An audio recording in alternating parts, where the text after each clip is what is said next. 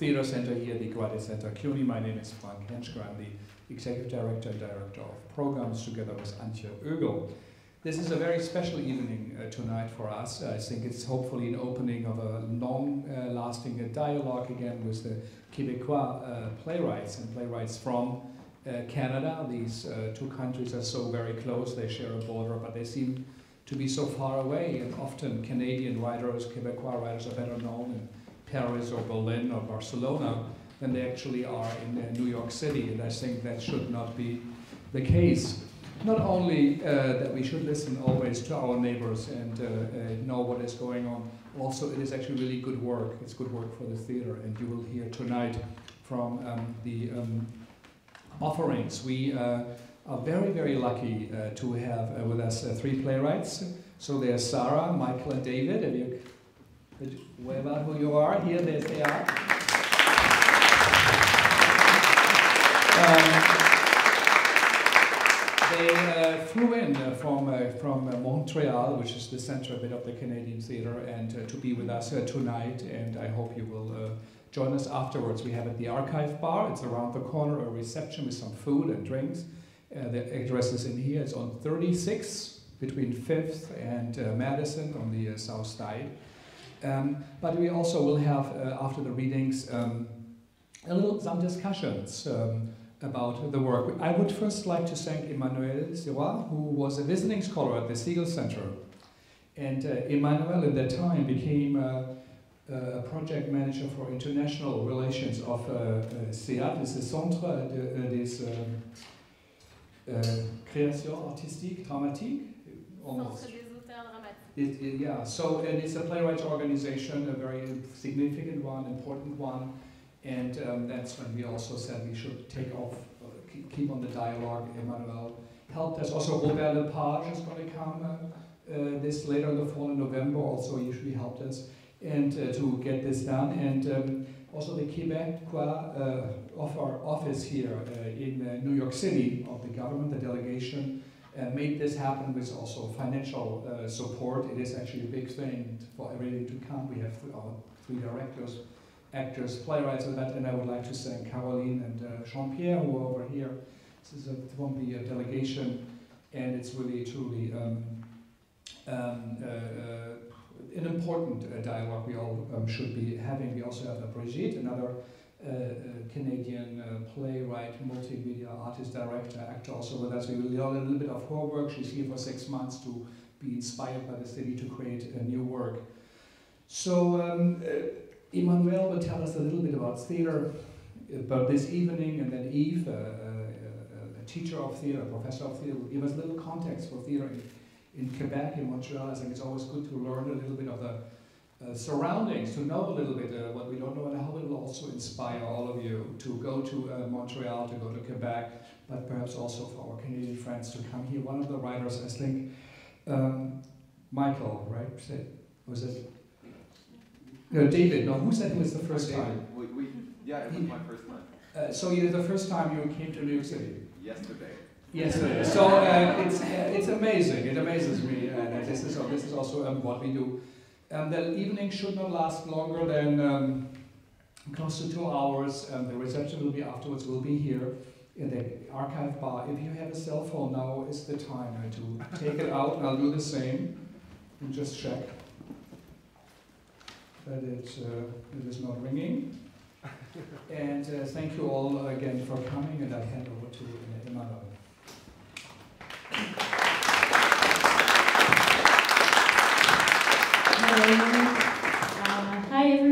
So I will uh, speak about uh, le CEAD, which is a playwright center based in Montreal, and also I will introduce the artists and the plays and the corpus that we're going to stage uh, tonight.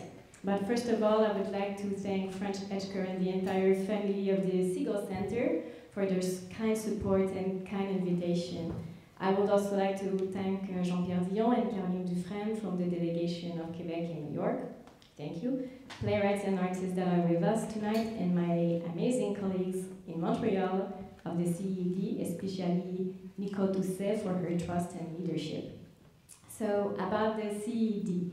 It's uh, founded in 1965. The CEAD now has close to 250 Francophone members from Quebec and Canada and provides support for playwriting development and promotes Quebecois plays and playwrights.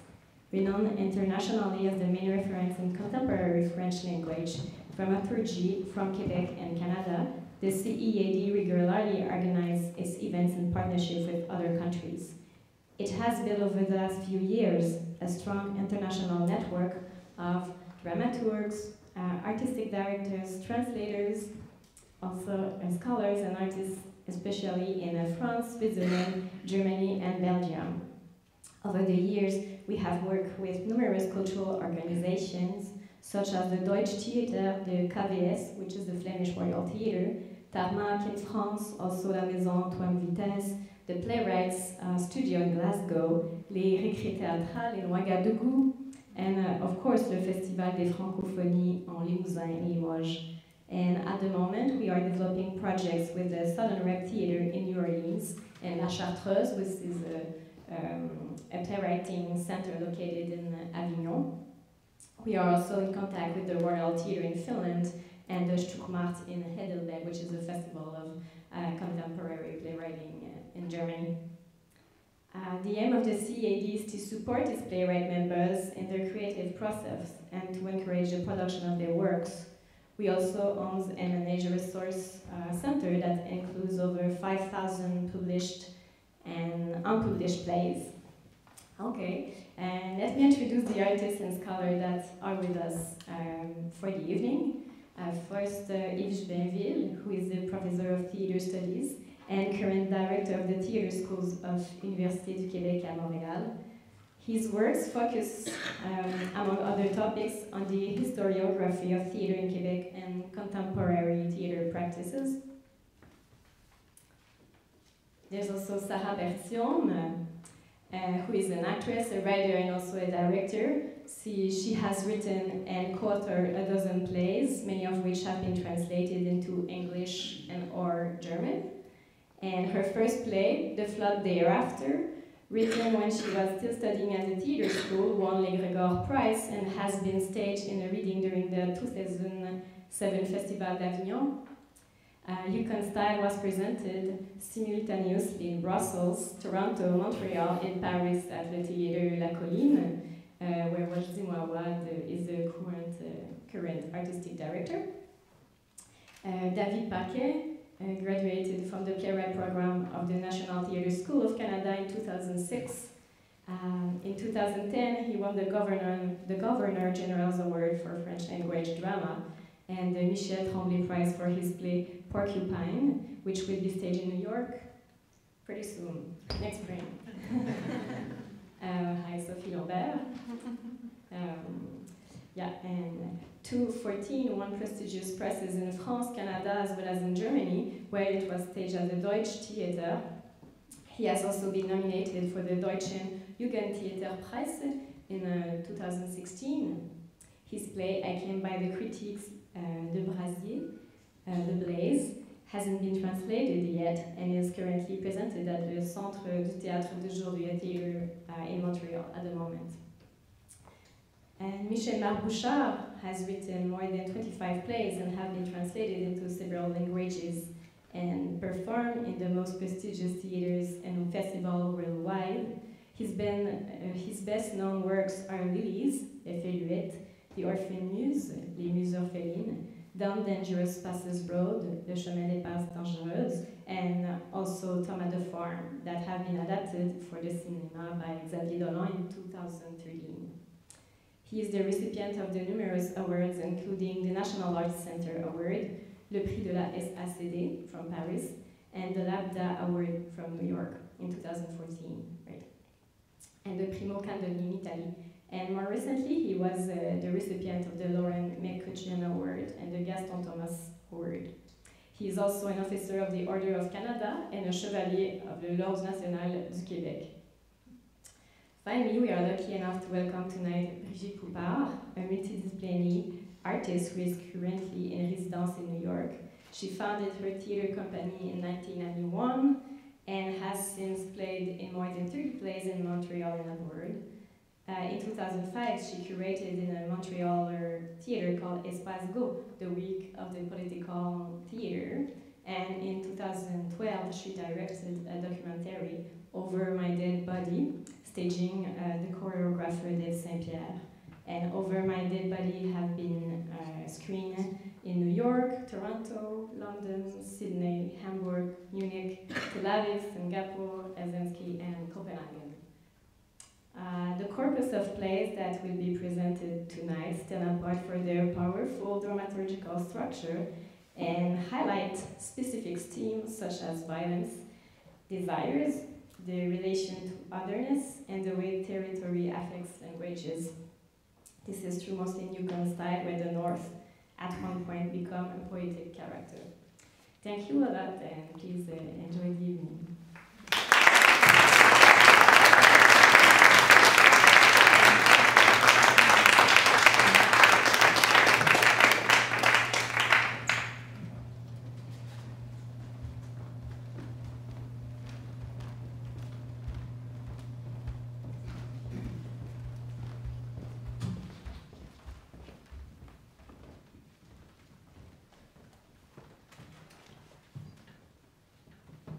Scene one, Greyhound.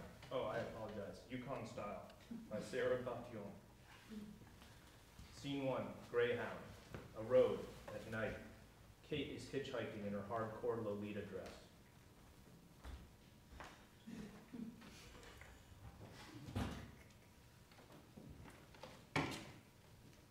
Whitehorse, night, winter, minus 45 degrees Celsius the threshold between cold and death. A girl dressed like a doll is hitchhiking along the main drag. Could be mistaken for a hooker, with her 17-year-old legs crammed in all that lace, and her stubborn resolve to find herself on the road at this time of night. Not a hooker, though. Just a girl dressed like a doll at minus 45 degrees Celsius. She's cold, obviously. Snow crunching under her platform boots. Lace rustling on her frozen thighs. First name makes its way from the warmth of her belly to the edge of her lips and escapes as a fine pink dew into the sharp Yukon night. Jamie. The girl sighs. Shouldn't have gotten off. Should have stayed on the bus one more night, climb higher still, get lost even deeper in the improbable north, push this insane flight even further into the mountains, fumes, the bison herds, and the A&Ws. But, Whitehorse. The blurry image of a white stallion on streets paved with gold. So here she is, hitchhiking at minus 45 degrees Celsius in her dolly outfit, standing on the threshold between cold and death. I don't know her yet, this girl, but it shouldn't be long. Sound of an engine.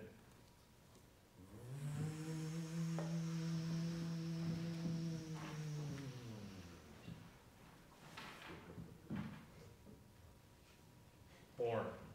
Kate takes her backpack and exits. She's arriving at my place.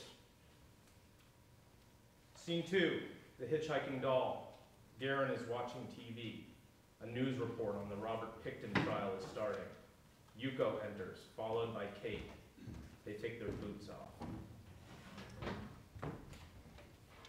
Bathroom? Garen turns, looks at them. Over there. Kate, still wearing her coat, disappears into the bathroom. Who's that? A girl hitchhiking. You know her? No, Why'd you pick her up? cause couldn't leave her there. She pees and goes. I don't want her to leave by herself. Well, she's not sleeping here. She won't be any trouble. She'll just.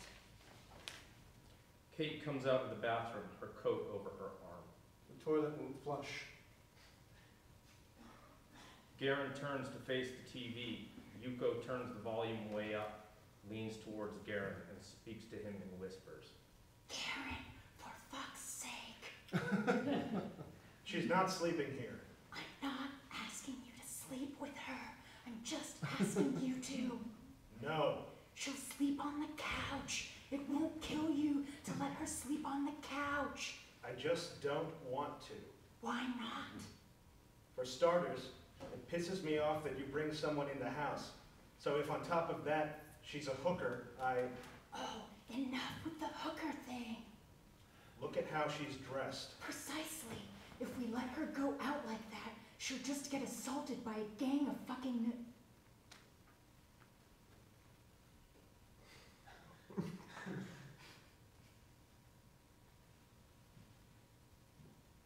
Natives.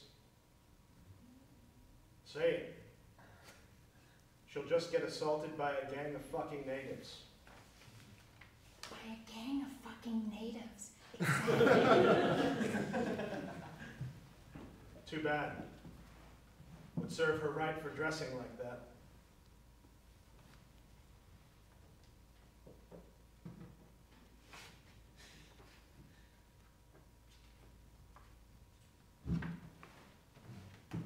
It's a look, a style from Japan. You're all hookers and we're all rapists. That's just fucking great. Too fucking bad. It's my couch. She grabs the coat from Kate's hands and hangs it up.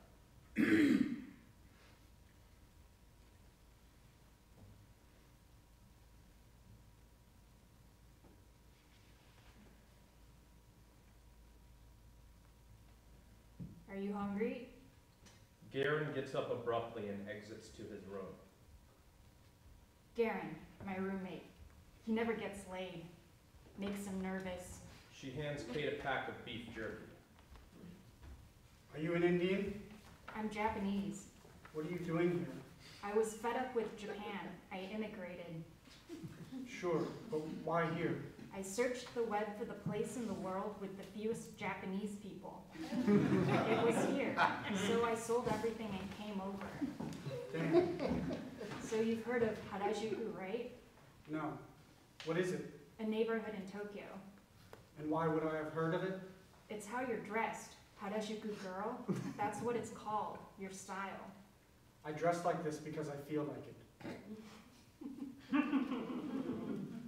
Look, it's not really any of my business, but if I were you, I'd make sure I feel like wearing something else when I'm hitchhiking at midnight in downtown Whitehorse. Why? First, because you'll freeze your ass off. And second, because you're asking to be grabbed by people you don't necessarily want grabbing you. I don't care. I'm already pregnant. Is there a clinic around here? What for? An abortion. I am 17. Who's the father? This guy from the You bus. slept with a guy from I the bus? I felt like it. Can I have my a t-shirt? My dress itches when I sleep in it. Kate settles in on the couch. As I look for something to clothe Kate's body, cotton to put on her numb skin and inhabited belly, Garen watches her breathe through his shut door. One might imagine that he wants her, staring at her like that from behind the plywood, listening to her body invade the living room, sensing her sickly sweet breath, beef jerky unborn child, seep into the walls and the cracks of the couch. But Garen doesn't want her. No.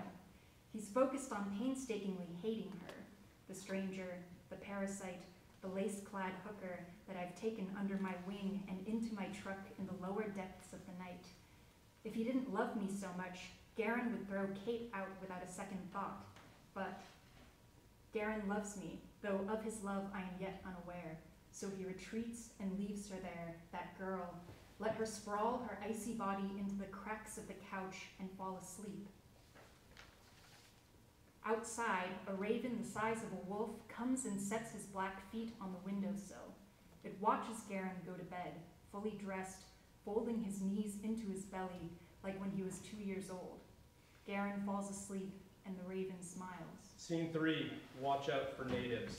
Morning, Garen is standing by the couch drinking coffee. He's watching Kate. He wakes up. Hey, where's the girl? She's working. Don't you work too? Yes. What do you do? I wash dishes. Do you like it? Do you like it? What? Washing dishes. No. So what makes you think I would like it? I don't know. I was just asking. What's the girl's name again? Yuko. Do you think she looks like an Indian? She's Japanese. I know, but I think she looks like an Indian. like if she had braids, you could totally think she was an Indian. Are there a lot of Indians around here? More than you'd think. I met this guy on the bus who said that you could always find them panhandling in groups in front of liquor stores because they don't have jobs. Apparently, no one wants to hire them because Indians just can't be trusted. It's in their culture that they can't be trusted. The guy was saying that he lived on a reserve for his this contract he had, some construction job or whatever. Every month, when the government checks would come in, there'd be this crazy, massive beer bash all over the reserve. And I mean massive, real low-class shit. Apparently, the men got so wasted that they had to lock up the women and children inside their houses. One year, they realized that the government checks were on the same day as Halloween. They had this big meeting to figure out what to do, so that nothing would happen to all the kids on the streets in their costumes, you know? So they decided to cancel Halloween that year. That's what they decided, to cancel Halloween. Pretty crazy, huh? Garen puts his cup on the floor. You leaving? Yes. Going to work? Yes. Okay. Bye. Kate picks up Garen's coffee and takes a sip. He comes back towards her and brutally grabs the mug from her hand. Shit!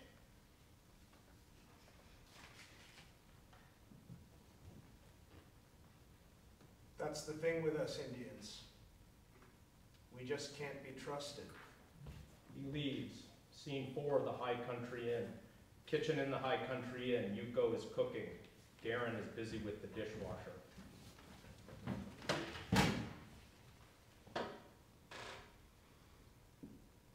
Lunch in the kitchen at the High Country Inn. The rush, harrowing, merciless. The rush will bring them to their knees, the newbies, the poorly trained, the oversensitive.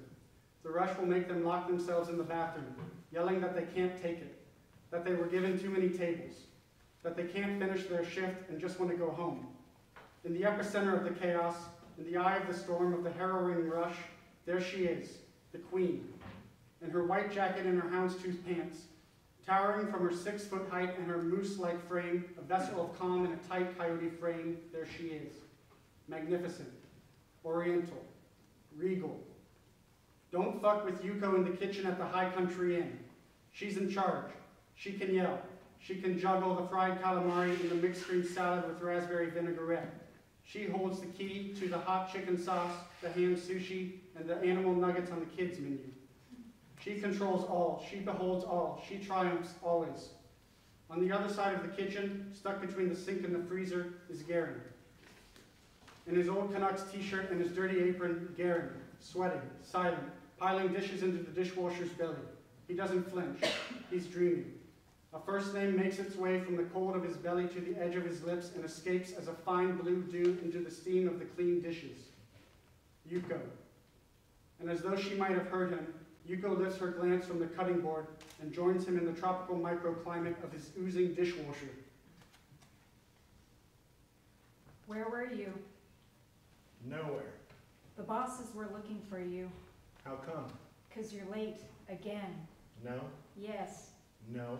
Yuko sighs. You've got to stop doing that, Garen. Doing what? Spacing out, disappearing, flipping into Indian time when something's bothering you. I told the bosses I'd sent you to buy something. Thanks. I'm sick of covering for you. Buy a goddamn watch. Was the girl still there when you got up? Yeah.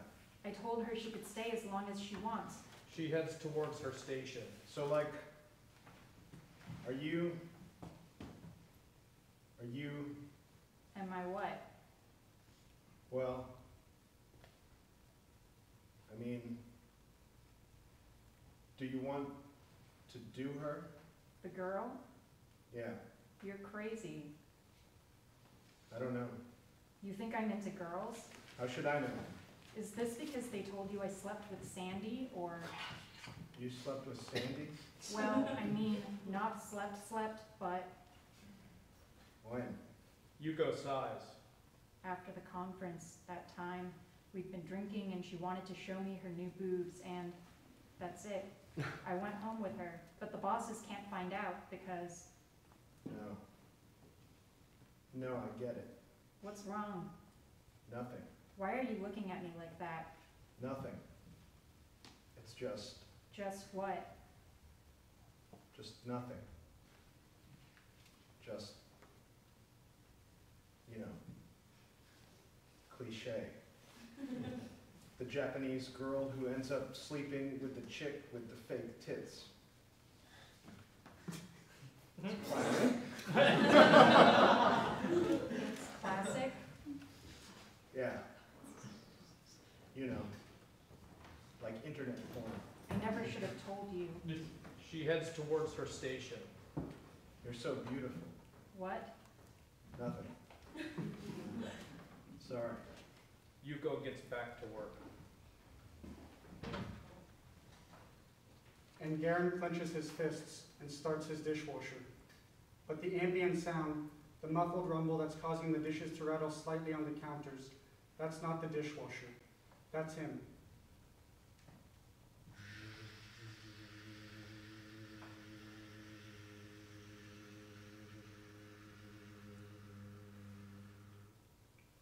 End.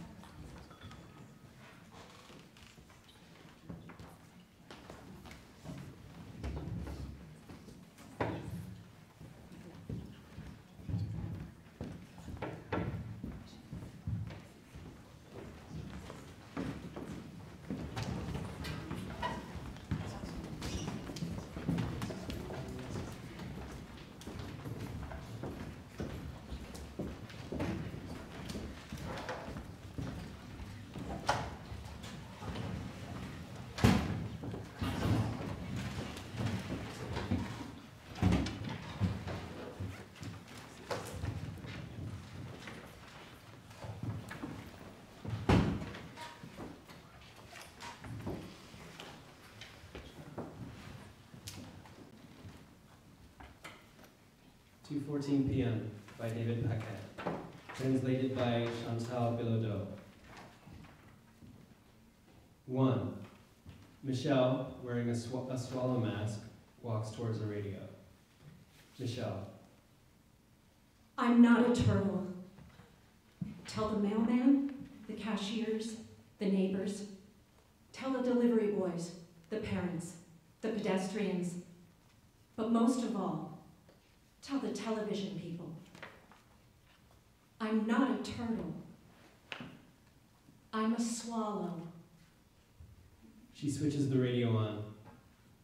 Charles, off stage. Good morning. Welcome to Radio Charlie. Music, crescendo. Two, musical climax. Fuck you. It started with my lasagna. Two mittens, four hands. 32,887 times. Before I was normal. Fuck you, fuck you, fuck you. After my lasagna, it was my sh- shepherd's pie. That's happiness. Two mittens, four hands. I heard it 32,887 times. Before I was normal, now I open doors. Three, Katrina. I got kicked out of my old school because I hit my teacher. He said, Today we learn. The only words I need to learn I already know. Fuck you. He insisted, I hit him. At my new school, I have to see a therapist twice a week. Tell me how you feel. I said, My father hates my mother, my mother hates my father, and I hate them both. Can I leave now? She suggested I write a diary, put my anger down on paper. At my next appointments, I could read a few passages instead of answering questions. I thought it was a good idea. Four, Benjamin. Everyone has French kissed except me. I asked my mom if she thought I would have a girlfriend one day. She said, There are two types of boys the attractive ones and the smart ones. You, you're first in your class. I asked my father if he thought I would have a girlfriend. One day he said, Don't worry about that, son. Mow the lawn instead. For a long time, I thought girls were allergic to me. That's why they never came close. But one day I understood they were not allergic, they were simply not interested. Five, Ethan sniffs a vial and becomes high. I open a door. I'm on top of a mountain. The hottest day of the summer. I'm soaking in honey with lots of girls in bikinis. The girls chant my name. Ethan! Ethan! Ethan! I take off my bathing suit. They cheer. We drink lemonade. I open a door. I'm in the middle of a forest. The trees don't have bark, only skin. The skin is smooth, warm, alive. The forest chants my name. Ethan, Ethan, Ethan. I open a door. I'm a scalpel. I help women become young and desirable again. I'm nominated for the Nobel Prize in big tits and luscious lips. I win. Humanity chants my name. Ethan! Ethan! Ethan! Applause everywhere, everywhere. Chanting, cheering crowds everywhere. I'm in my grandmother's hospital room. All the doors disappear. Six, Jade, who has a slim figure. 32,887. That's the number of times I've been called fat. I wrote it down in a notebook. In 16 notebooks, actually. Fat potato, Fat face, fat slob, fat ass, fat twit, fat skank, fat blend, fat lard. There's also the ones with animals. fat whale, Fat pig, fat cow, the ones with curses, fat fuck, fat bitch, fat cunt. And the ones with words that end in cur, fat cocksucker, fat dick licker. fat horse fucker, Then of course there are the combos like fat fucking, Pig, fat dick licking, twit, fat lard ass bitch. with hanging jelly belly, And my two special mentions, fat, blubbery slob bloated like a puffed out balloon. And fat potato face too fucking fat to fly. 32,887. That's only other people's insults. When I call myself fat, I didn't mark it in my notebook. I would have wasted too much money on pencils. Seven. Dennis. That night, I had gone all out. Bruschetta, avocado and shrimp salad, four cheese lasagna, chocolate mousse, and a good bottle of red to top it all off. We sat down. I asked Mark about his day. Everyone in the office is an asshole. I want some wine. Wow. It promised to be a great evening. I took a bite of lasagna. It didn't taste right. I asked Mark if he thought the lasagna was weird. Lasagna's not weird. People at the office are weird. I want more wine. Wine. That would help. I took a sip. The wine also tasted like. I had some salad. Same thing. It's as if everything I was eating tasted like sand. I brushed my teeth. It tasted like sand. I rinsed with mouthwash. It tasted like sand. Since then, everything tastes like sand. Eight. Katrina. I had spoken too fast. A diary wasn't a good idea. What was I gonna write in the diary? Dear fucking diary, today all the adults are stupid. Bye. Come on. I decided to draw instead.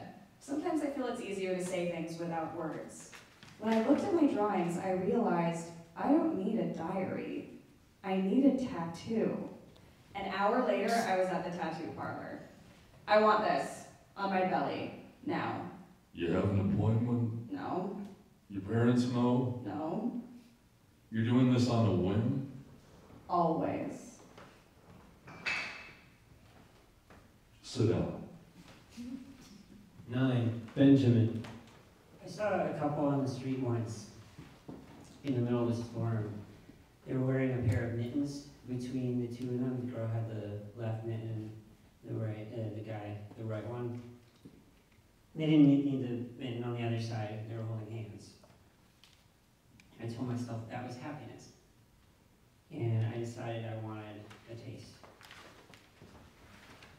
Ten. Michelle. My swallow mask fell off once. I was at the grocery store. I was waiting to pay. Nobody knew I was there until my mask fell off. I heard, it's her, the turtle. I recognize her. Then everybody turns towards me.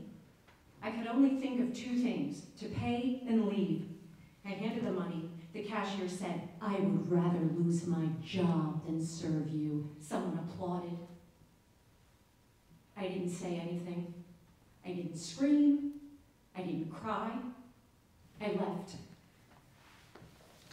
Had I been in their shoes, I would have done the same. Charles. Off stage. Good morning. Welcome to Radio Charlie. Eleven. Dennis. After two weeks of sand breakfasts, sand lunches, and sand dinners, I went to the doctor. What can I do for you? Everything I eat tastes like sand. How long has it been? Two weeks. On a scale of one to five, one being non-existent and five very high, how would you describe your degree of emotional satisfaction? Three. Your degree of professional satisfaction? Three. Your degree of personal satisfaction? Three. Your degree of satisfaction in general? One. Your body is trying to tell you something. My advice, start taking stock of your life. Next. Taking stock of my life? I don't have a life. it It won't be very hard. 12. Jade, showing her slim figure. After 32,887 marks, I found a solution to my fat problem. And no, it wasn't anorexia, bulimia, speeds, coke, or exercise. And it wasn't a diet either. I've tried them all. They don't work. Once I drank only carrot juice for three weeks. The only thing I lost was three weeks. Watching TV is what made me lose weight. Ironic, isn't it? While clicking through channels, I came across a documentary about parasites. They found a 25 foot long tapeworm in my stomach. That's why I was losing weight. The worm was eating everything. Bingo! All I had to do was find worms. I took out a steak and left it in the sun for three days in July. When I came back, it was white and moving by itself. I ate it. The next day, I started losing weight. 13. Ethan, I'm in my grandmother's hospital room. All the doors disappear. My grandmother's sleeping, as usual. And I hear a voice. You got any vodka? I turn around. On the bed next to my grandmother's, there's another grandmother. You got any vodka? Find me some vodka. I tell her I, I don't have the legal age to buy alcohol. She hands me a $50 bill. At your age, when you want alcohol, you find vodka. Then she winked and she told me to keep the change. So I decided to be helpful. I shouldn't have. he sniffs the content of a vial. Hi. I open a door. I live in a museum.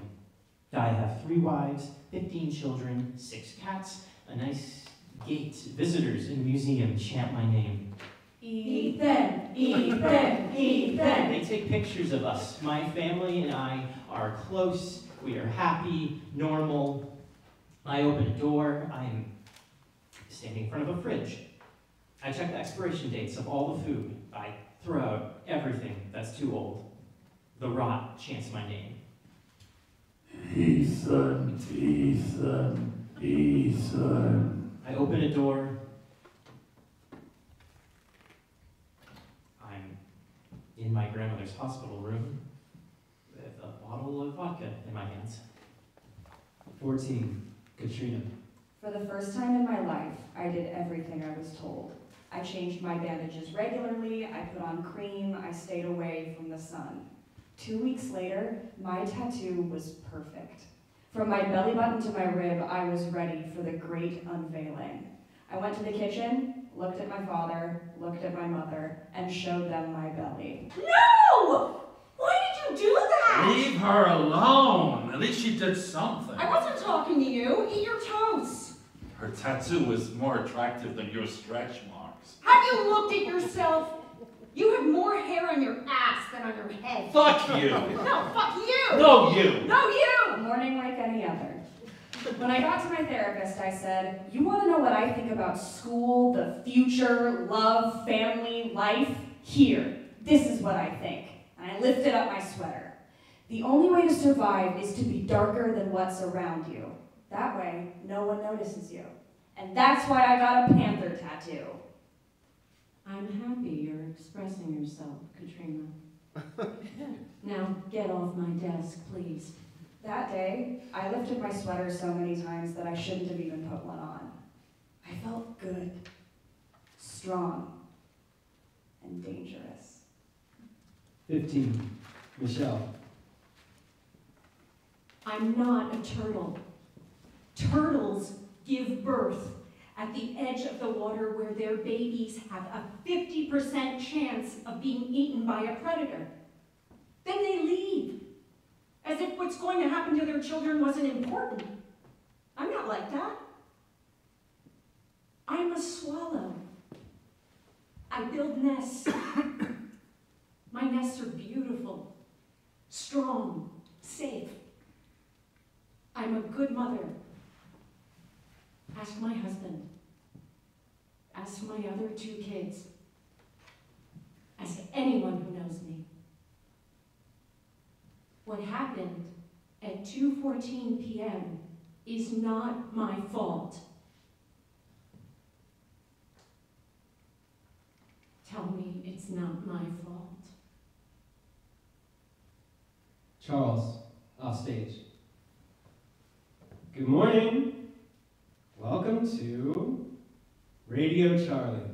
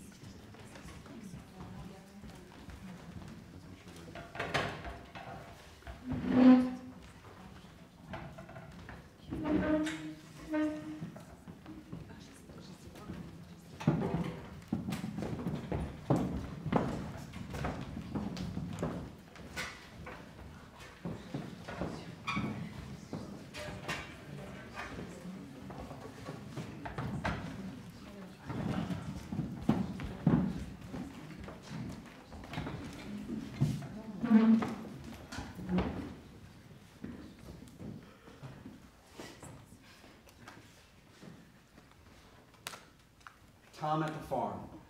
Preface. Losing someone suddenly is a thread that snaps, breaking the ties to that other person, the man who's no longer there. The survival instinct takes over, and the unraveled pieces of life try to piece themselves together with other unraveled pieces. It hardly matters with whom or with what. Other people, a brother, a son, a lover, become synonymous with the one who is no longer there. Following the accidental death of his lover, trying to get his bearings, Tom goes to the country to meet his in-laws, who are perfect strangers to him. In this austere rural environment, the neophyte in life finds himself tangled up in a story where synonyms are merely a declension of lies. The lover, the friend, the son, the brother, the nameless dead man, has left behind a fable woven of false truths, which, according to his own teenage diaries, were essential to his survival, because in this same rural setting, one young man had once destroyed another young man who loved yet another. Like an ancient tragedy, years later, this drama determines the destiny of Tom. Adolescence is the period in which an individual's personality evolves from that of a child to that of an adult. This evolution begins with sexual maturity and ends with social maturity. This is the crucial point in life when the diktats of, norma of normality have the most devastating effect on those who are marginal. We can all lend an ear to the pain of love, somehow, in some way, every day. Homosexuals learn to lie before they learn to love. We are courageous mythomaniacs. Tableau 5, day 3, evening. Agatha is ironing. Tom! Supper time. This is the second time I've called you. Maybe he's not hungry. He hasn't eaten all day. He doesn't like my cooking, I can tell. Tom!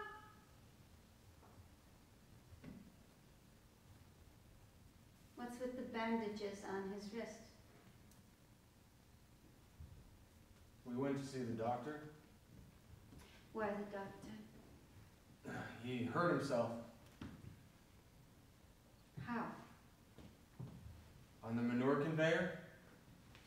Both wrists. He tried to pick something up. What are you getting at? Do you want him to leave? Is that it?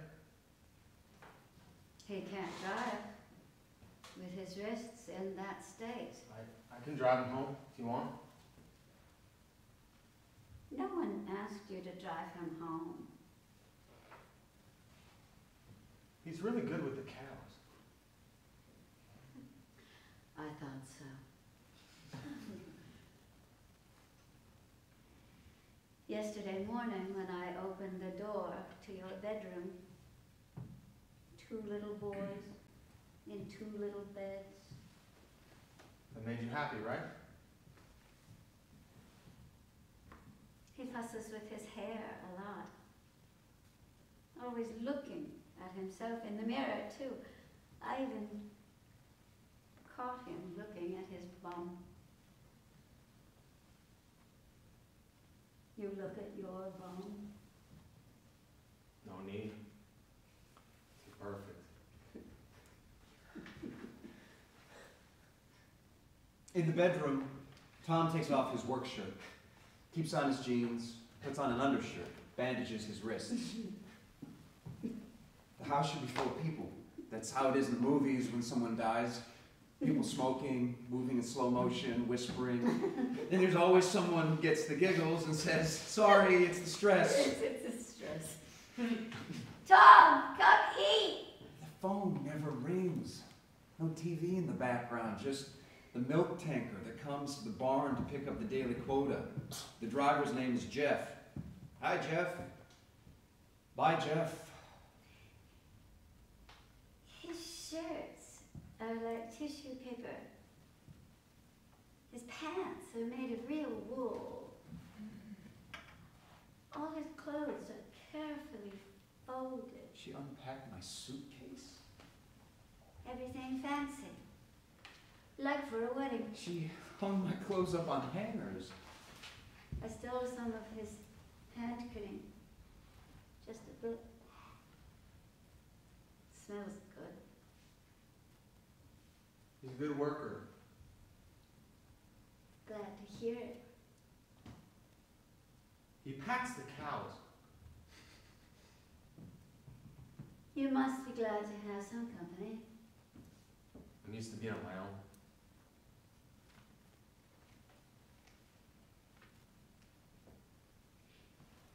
If you left, the figures Stop. will never be able to afford the laser milker. We'll see. Someday we're going to have to sell. I'll always be here. You know that. Always. I can't give you a hug. I know that I should these days, but I can't. Maybe you could just not say it. Tom joins them. Tom, you'd like to eat. No trout? I'll throw you a steak. She takes Tom's hands, turns them over, touches the cuts on his wrists, on his stomach, and his neck. If I don't see the mark on his hands, if I don't put the finger in the wound, if I don't put my hand on his side, I will not believe. Touch the marks. Put your hands on my wounds. Blessed are they who believe without seeing. Amen, Mom. Amen. You should take him into the village. Show him around. Go to the tavern. Afterwards, you can take him down the Cypress Road. My boys drove me there once. We did 160. Broken yellow lines became one streak. We were going so fast. You loved it, didn't you? Never so scared in my life. Go get dressed. If you're a good girl, we'll get it up to 170. Let Tom have supper first. They tell me you look at your bum in the mirror. Francis. Baby butt. Tom attacks him without warning, kicks him in the ribs. Francis takes the blow, painful, pleasant. He grabs Tom, squeezes his neck and the crook of his arm. There, calm a man. Enough of that voice. Not in the kitchen. Got Gotcha, baby butt. Go wrestle outside. Surprisingly, Tom gets the upper hand. Look how handsome he is when he's mad. They fight for real. You dragged me, tied me by the wrists, on my belly for two kilometers. Apologize. Apologize. Ah! He bit me. He bit me, the goddamn thing. The what? It's a man, manner of speaking, that's all. He bit me. White teeth and purple flesh. You see that, Mom? I don't talk to boys who swear.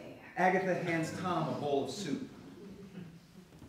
I thought some barley soup They eat barley soup here. with bacon. With bacon. Francis, help him eat. Never. Can't you see that he can't hold his spoon? Never. Agatha takes the bowl of soup and feeds Tom by the spoonful.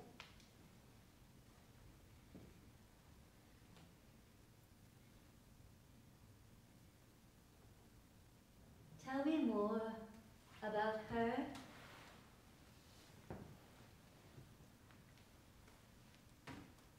All I can see is images from ads. The, a woman in a black corset, a woman swinging in a bird cage, a disheveled woman on a raft, a woman with big tits posing with race car drivers. An easy woman. Anyone would have been easy with him. Did you hear that, Francis? Every word. He was a brute who could recite poetry. A brute who could recite poetry. You should talk like Tom. I'm not sure about that. Women like men who speak well. I heard she was crazy about pasta. Ravioli, tortellini, spaghetti, lasagna. You want more? Smothered in sauce, you asshole. How about you? Me? Sure, I like pasta. I'm lost now. There must be someone special in your life. You never talk about yourself. Here? Now? Me? What about me? I'm nothing. I, I don't know what to say about me. Me? I don't know. What about me? Me, I'm nothing. Nothing. You still want me to talk like him? Take off your shirt. No, more slowly. Let your briefs slide down your legs. Slowly. More slowly. Your undershirt. Show me your armpits. Ra- raise your arms higher. What's he talking It's about? me. Your hand on your belly. Press your belly. I didn't even have my son's address, and he talked to him about intimate things like that. Lie down on the bed. Lick my cock.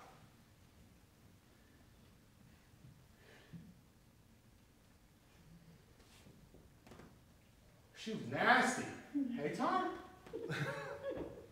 nasty! Yes, she was nasty.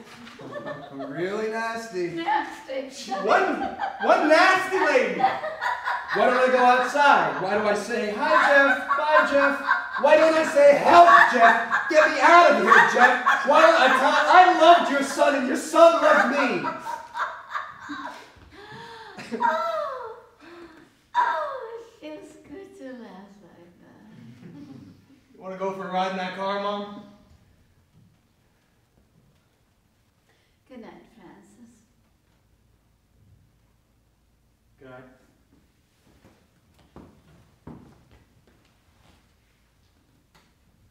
Good night, son.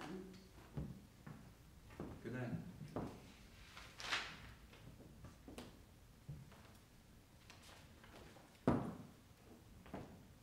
Could you ask her to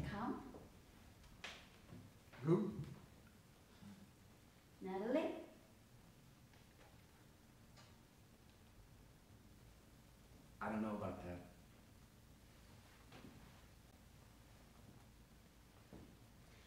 Francis? Cook his steak for him. Agatha exits. Francis goes over to the ironing board and continues ironing. Good for her. I'm not so sure. I haven't seen her laugh like that for ages. Tell the doctor I'm the one that did that to you? I told him you brought me there. That's all. That's why I didn't ask any questions. Should have brought you to the local doctor. Should have driven you to the next village over. Else there is a next village over. Don't you wonder why I'm still living here alone with my mother at age 30? I've got everything to make a woman happy. I got a big farm and good looks. I know you think I'm good looking. I say yes, he punches me. I say no, he punches me. Hmm. My brother never told you the story of the kid at the tavern? What kid? The kid I tore apart? Tore apart. That's what they all said. That's what I did. There was no trial, it was all settled in cash and silence. I was sixteen, he was fourteen. He was wearing white jeans, green t-shirt. I put both my hands in his mouth, pulled it open, wide open, till it tore. They didn't say beaten. They didn't say injured. They said torn apart.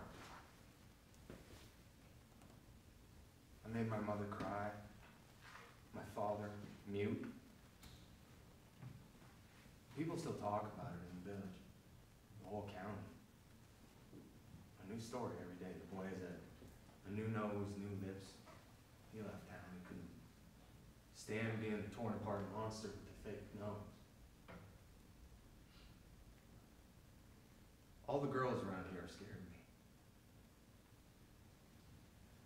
What mother would let her daughter go out with the guy who tears faces apart? There's this one girl at the dancing class. I'd even bought her a present.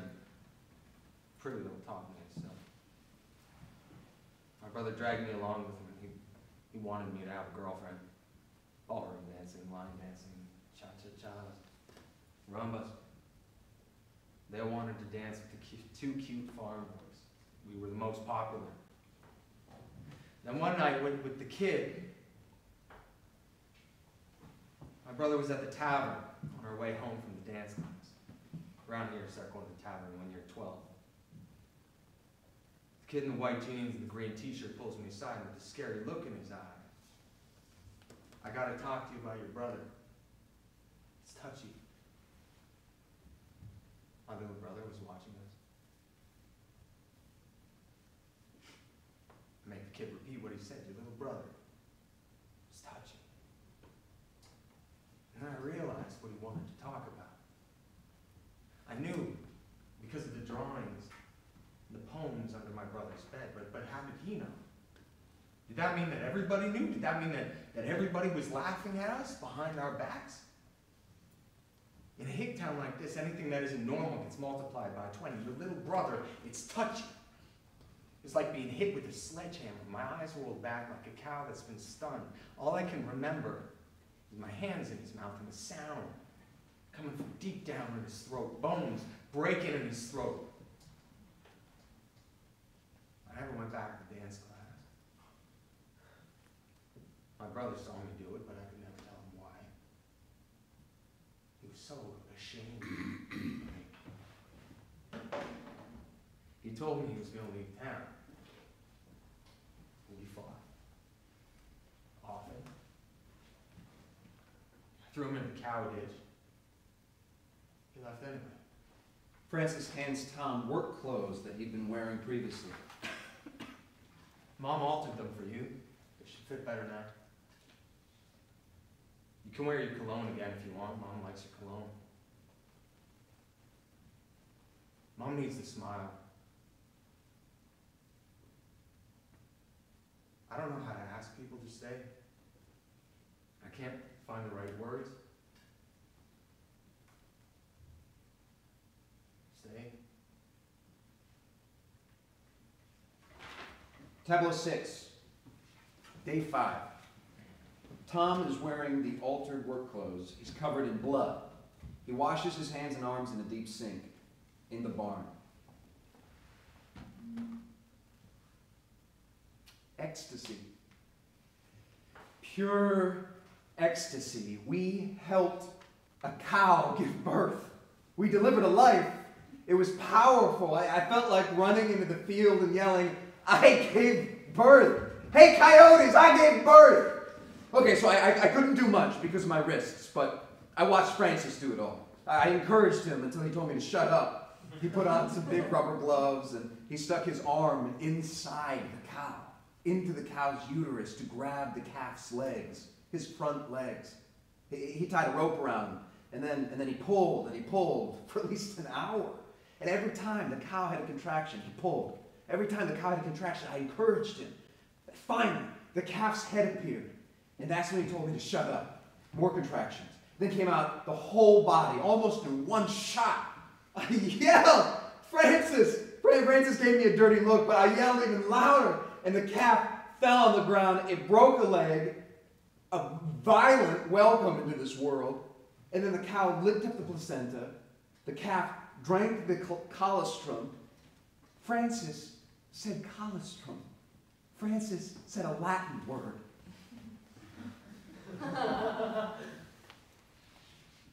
and then your mother thawed some pies. And it was so cool. We can call it baby bite! so cool. I, I don't know what's uh, come over me. I'm sorry. I can't help it. Tom, I'm sorry. can you tell me what good your sperm is? What? What good is your sperm? Okay, we've changed the subject. Why are you alive if you can't give life? Just give me a second. I was just thinking about that. When you're gone, there'll be nothing left. Your sperm is absolutely useless. That's one way of looking at it. Your juice is useless. Juice? Leave synonyms to the experts. What's the point of your life? Since when is tearing faces apart a mission? Take off your undershirt. What? Raise your arm tighter. Francis helps Tom take off his undershirt. He soaps his body. Show me your armpits. He has your voice. You can't spend your whole life without kids. An old man, no kids, nobody. He has your hands.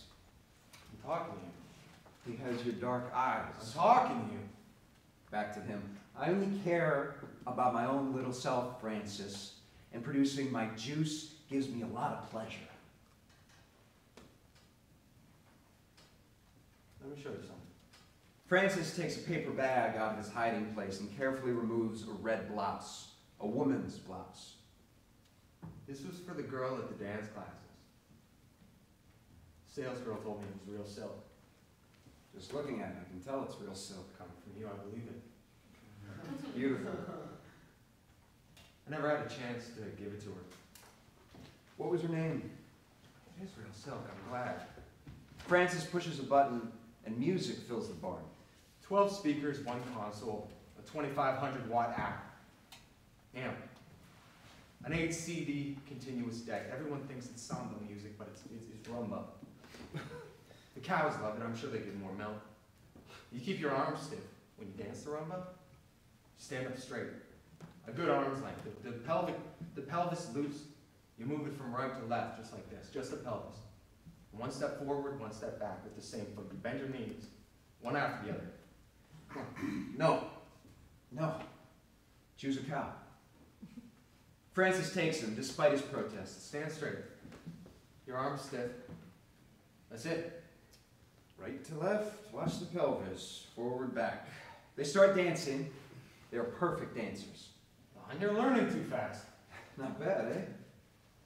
Not bad at all. My little brother must have taught you.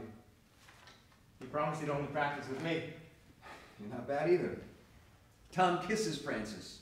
At first, Francis doesn't resist. Tom withdraws. I'm sorry, I, I don't know what came over me. Come back here. Tom goes back to Francis, who grabs him by the throat. There's something calm and pleasurable in the strangling for Francis. You tell me when to stop. You decide. Give me a signal and I'll stop. It's up to you, man. More? You're tough, man. You're tough. Tom nods his head. Francis releases him. Breathe. For Christ's sake, breathe. Tom catches his breath. The music plays on for a while. Francis turns it off, takes Tom into his arms, and holds him like a pet dog or cat. You know I'm stuck here because of my mother. Could take off. Leave her here on her own. I can't do it. Someday I'll have to put her in a home. She gets carried away with the religious stuff, but she hasn't lost her mind yet. Figure I've got another five years before it gets out of hand. Five more years, milking the cows, following the coyotes, watching the corn grow, listening to the dog bark. Five years is all. Sometimes I wish for a sudden sickness. Kind of where you find her one morning on the kitchen floor, holding the phone, her mouth wide open, staring into space. I'd be sad because I, I love her. But at least I wouldn't have to put her in a home. I was looking for the two of you. Where were you? I was looking for you. You still haven't gotten rid of that rag? She had a beautiful calf. We baptized it. Baby butt. That's no name for a calf. You heard what I was saying just now? Come eat now. The pies are hot. Did you hear what I was saying? Yes. I heard everything. And I said, baby butt is no name for a calf. The pies are hot. She exits. She heard it. Tom picks up the red blouse, slips it on, and stands up. You didn't get enough yet?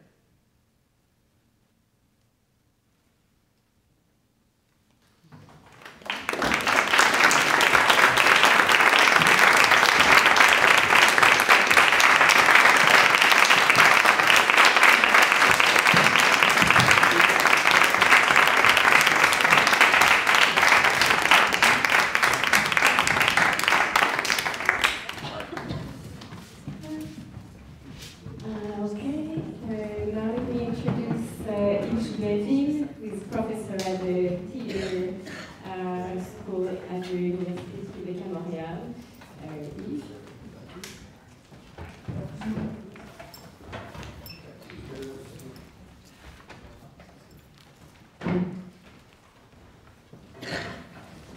Good evening to all.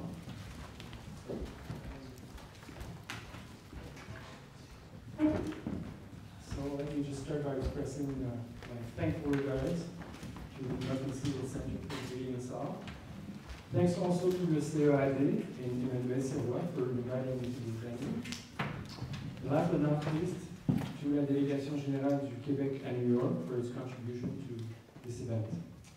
Dear friends and colleagues, I must begin by saying that, that since my English uh, is not what it used to be, I spent most of my high school years in, in an American high school in the middle of Africa, way back in the 80s, so that's a long time ago. I have chosen to read my presentation.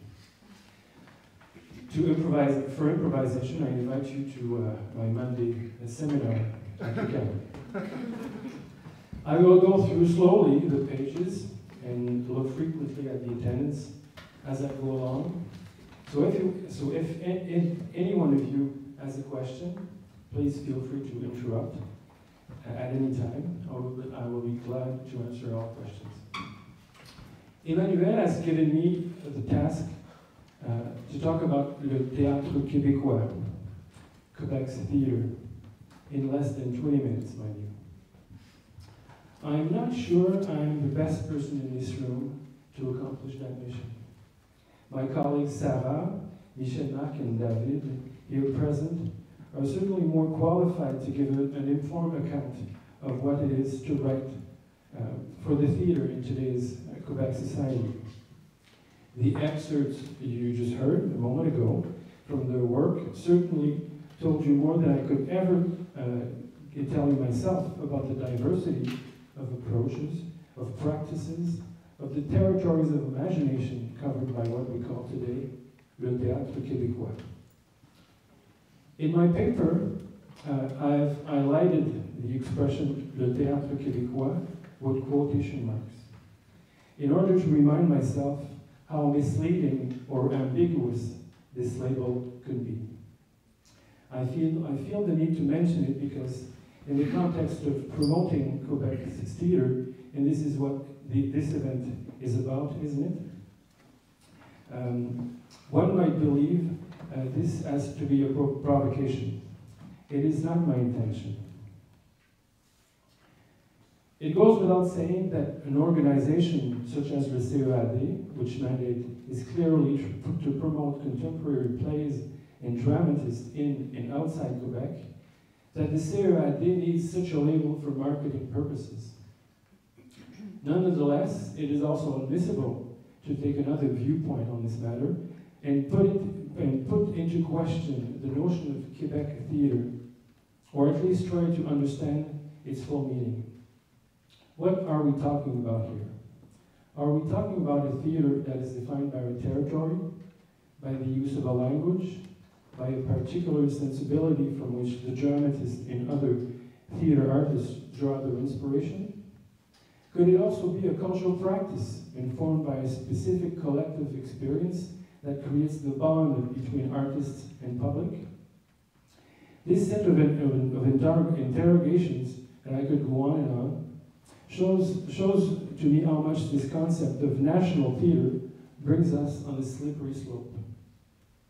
We use the term théâtre québécois for its convenience, but rarely, rarely take the time to investigate what it means. In the academic work I have been developing in the recent years, such questioning simply cannot be avoided. The main task of theater history, which is my field of research, is conditioned by the fact that the identity of theater, the way we assign a name to a tradition, a movement, a commonly, a commonly shared practice, is conditioned by the fact that the identity of the theater, uh, uh, sorry, I think I've missed that. So that, uh, that tradition, that movement, a commonly shared practice, that is, uh, that, that becomes in itself a, a problem. A problem which translates into different formulations and commands a variety of interpretations that are determined mostly by the time we live in and by the way each generation relates to the past. My presentation today can be understood within the broader frame, framework of my historical research, especially the one I have been involved with uh, in the past couple of, uh, couple of years with a group of eight colleagues from different Quebec universities. Our plan is to produce the first historical overview of Quebec theatrical practices from 1945 to the present. But rest assured, I'm not going to give you a lecture on historiography or even try to sum up the history of Quebec theater within, within the time uh, I have left. I mention this fact in order to remind us how the idea of the uh, Théâtre Québécois, as with other concepts of national theater, is a constructed uh, concept. This notion is the result of a series of connections between certain facts and discourses that have, that have established over a period of time what we call an horizon of meaning. In the case of Quebec theater, this horizon was opened up in the late 60s and early 70s. Prior to that period, we talked about the théâtre canadien or canadien français. In this light, you can easily grasp the polit political undertones that supported the notion of the Théâtre Québécois for many years. I doubt that we refer to, that we refer to it today with the same intent. In any case, my intention here again is to show how the writing of history starts precisely by questioning such common reference, by highlighting the ideolo ideological frame by which some events, facts, and historical actors are, are co coordinate into a certain narrative. As you probably know, this kind of undertaking but, uh, starts by collecting data, by gathering different types of documents, by putting into perspective some elements that are characteristics of the theatrical activity in Quebec in a certain period. For the purpose of this presentation, I will speak to the contemporary period, the one starting with the 80s and 90s, in order to give an overview of the transformation that have taken place in the theater that are, and that still affect us today.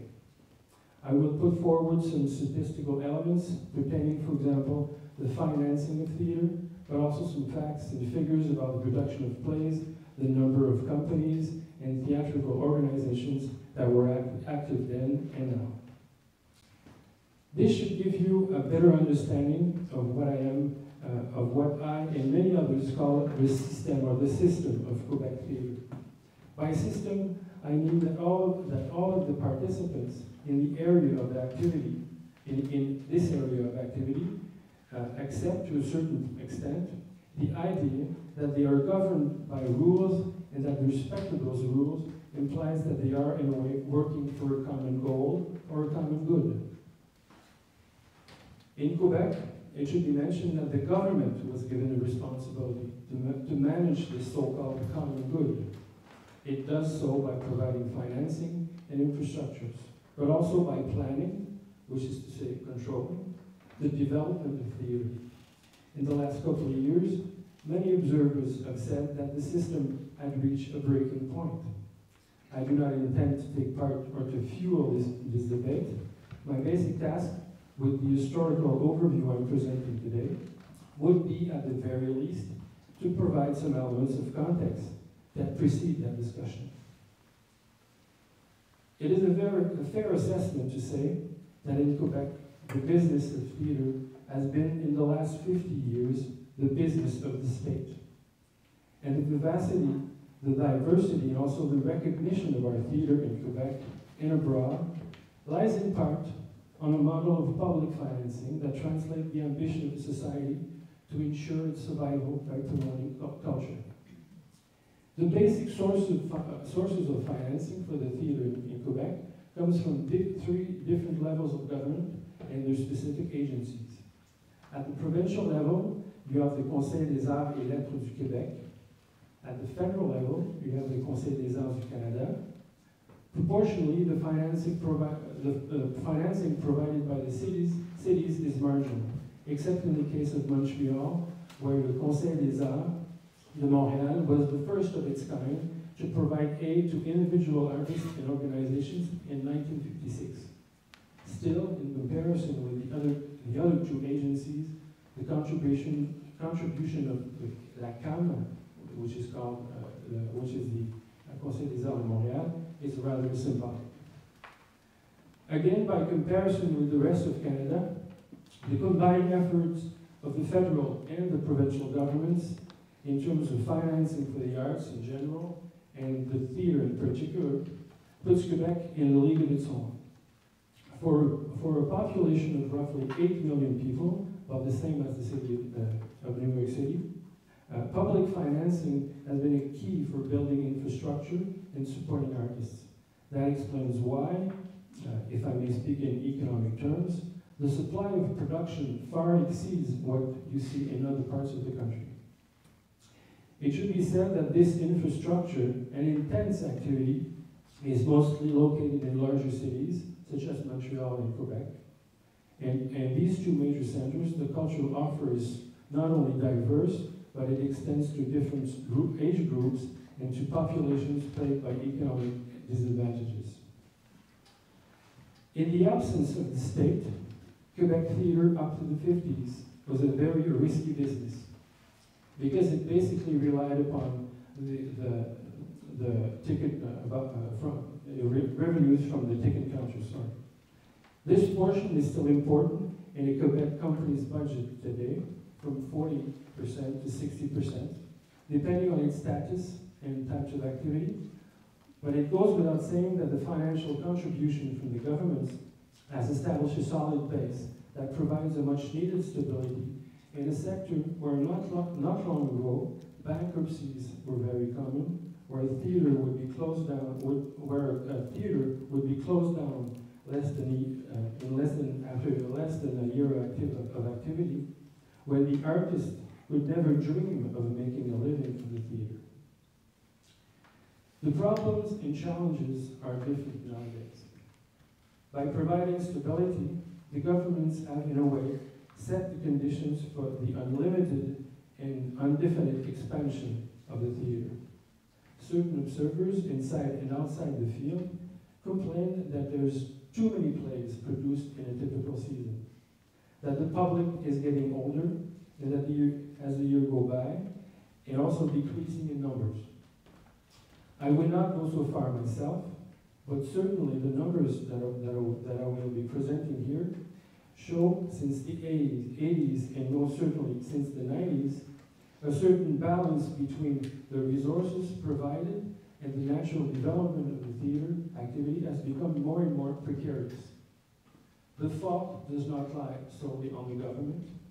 The entire system, it may be interesting to point out, is based on the arbitrations made by the artists themselves through peer review committees. And as it is, one can easily understand that the theater company has much difficulty, has, has had much difficulty, difficulty for many years to stem the flow of newcomers in the field, which by all accounts explains why this has translated into a general and widespread impoverishment. The numbers I have here are two kinds. Uh, first, a quick view of, of the total contribution by the different levels of government that give you an idea of what is at stake when we talk about public financing.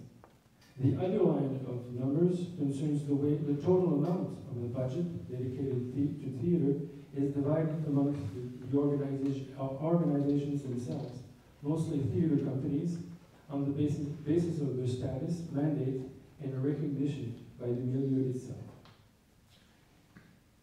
There are basically four categories of financing corresponding with the amount of subsidies each company receives. So bear with me with the numbers here. The first category is called les compagnies établies, or established companies, which gather organizations receiving uh, $500,000 or more.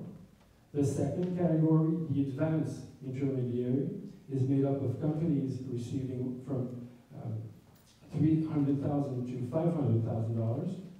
The intermediates are, are, are allocated from 100,000 to $300,000. And the others we call project, project, uh, because they receive financing on a single production basis, are the ones taking um, uh, $100,000 or less.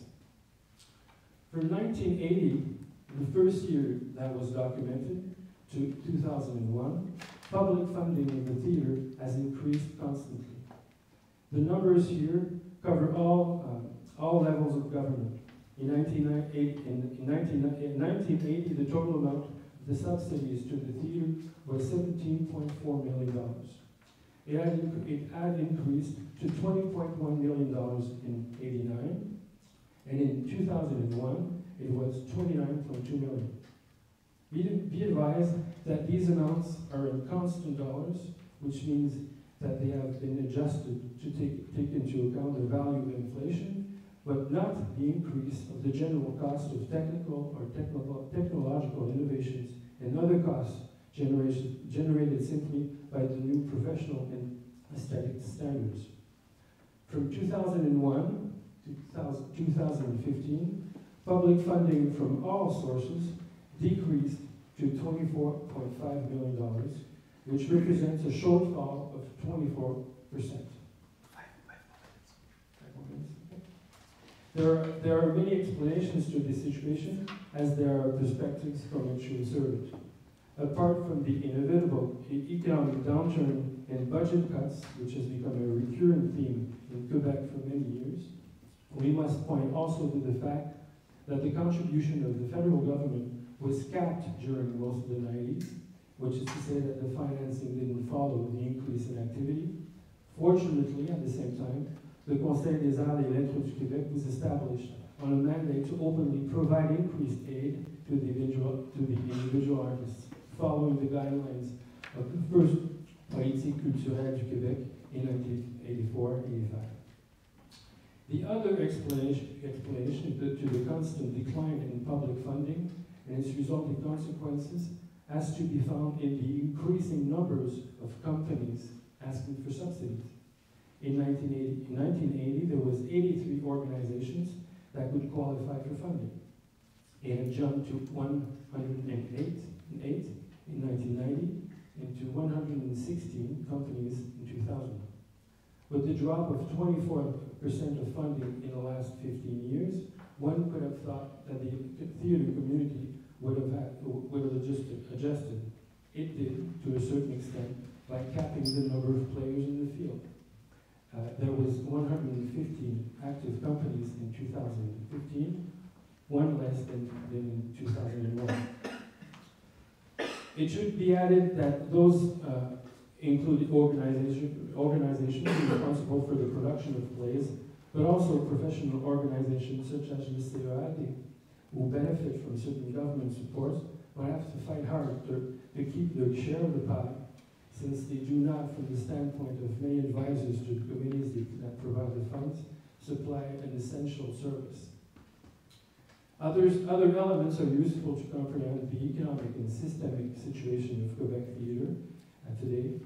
In a span of 30 years, the number of established companies which monopolize the large amount of funds distributed have gone from 7 to 15. In 75, prior to the period covered by the stats, the established uh, ones collected roughly 73% of all, of all funding. Today, this portion has gone to 55%, which is still considerably considered by many to be, to be too much. What does this mean to the rest of the, the rest of the bunch uh, waiting to get funding or a small increase just to make a company viable? Until the middle of the 90s, the system was designed to warrant a certain mobility and give to the lower level companies a fair chance to, to get more funding and as a consequence benefit from a, from a more recurrent and sustainable support. Since then, the situation has changed dramatically. Most intermediary and even advanced intermediary companies are stuck at the same level for a period that can be as long as 15 years. In order to give access to increased subsidies and better production and creative conditions, a typical intermediary company must wait for another, uh, another one to be downgraded or denied financing. You can easily understand how this context creates tensions and even conflicts amongst the members of the, of the theatrical community. And now when time comes to apply for government, government grants, everyone is praying to be able to at least keep a spot.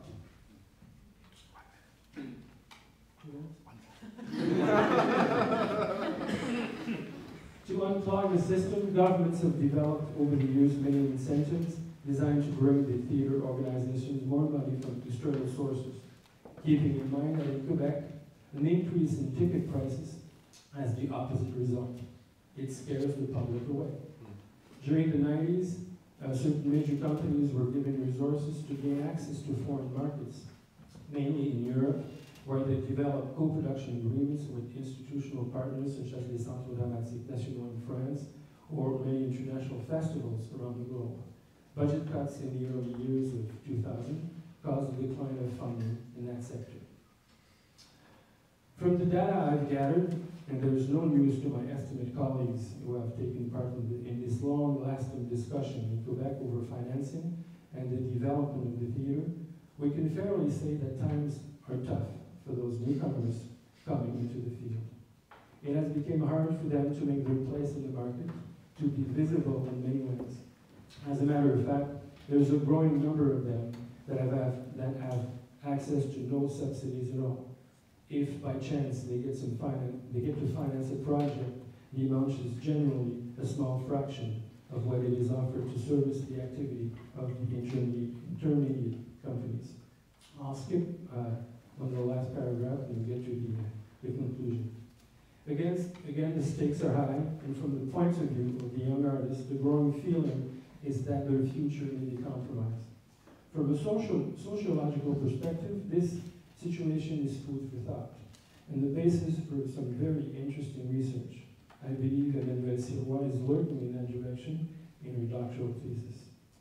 What makes, it, what makes this context interesting is that young artists have also worked in many ways in the last couple of years to get around the system, to provide a new environment for themselves, and create alternative solutions that are grounded in a much more co collaborative and collective way of thinking, in opposition to the logic, uh, the corporatist logic for long, uh, that for long fueled most of the theater company.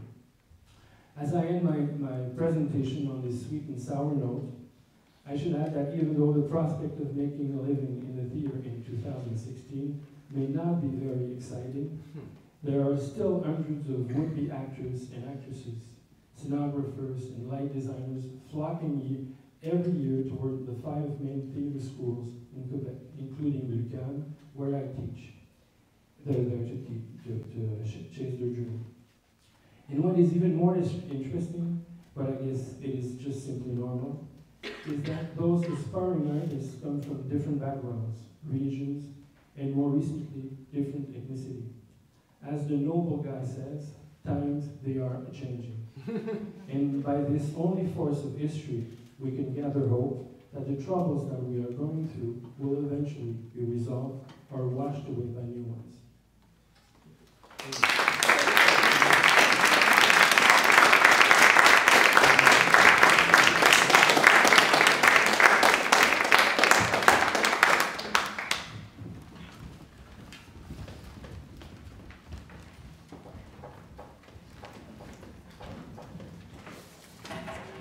So we uh, are going to have a um, short uh, discussion just with the directors, and so let's hear from them um, about uh, the plays.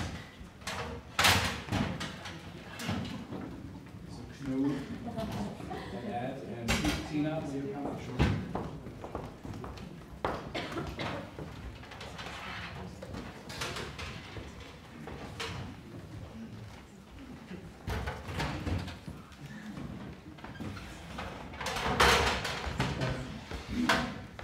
I was shocked to read your speaking in the program. Well, first of all, um, thank you for uh, uh, participating. I know it's uh, almost like asking the impossible. Read an entire play, excerpt. It will be presented with two others, and um, but I think it will give gave us a view into the, uh, the Quebecois the theater scene about the mind of the playwrights. And again, I would like to encourage you, if ever uh, or whatever interest you might be here, the plays are available. Contact uh, contact us. We can help you to get the full plays. And I think the presentations um, were a testimony to the liveliness, I think, of the scene. Maybe you just go down here and say, what, what was your uh, impression about the text? Is that uh, something that could you come from North America, from Europe, or did you feel there's something uh, Quebecois in there? Or what were your reactions? Maybe we'll start with you. Hi. Hello. I'm Ed. I worked on Tom at the Farm today.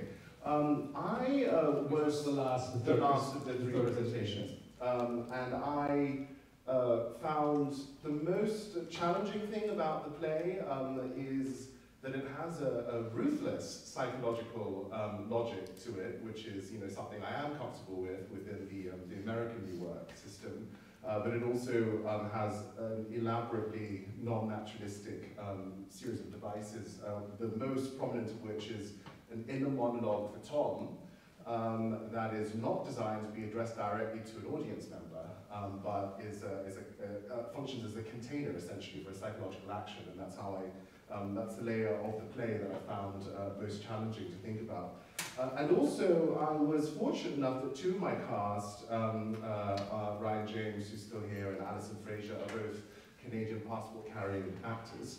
Um, and I thought that I thought that rural Ontario, Canada, would have a sound Um, and, and they quickly told me that it doesn't really, especially um, um, in the English language. And that I was um, fascinated by because I essentially came into rehearsal this afternoon counting on being able to make the class difference between Tom, who comes from an urban existence and makes money in a specific way, um, and these two people who essentially are utterly isolated and stuck in their um, existence in a farm, in a, in a town that it would be very hard to, you know, uh, to, to, to fit it in any other way.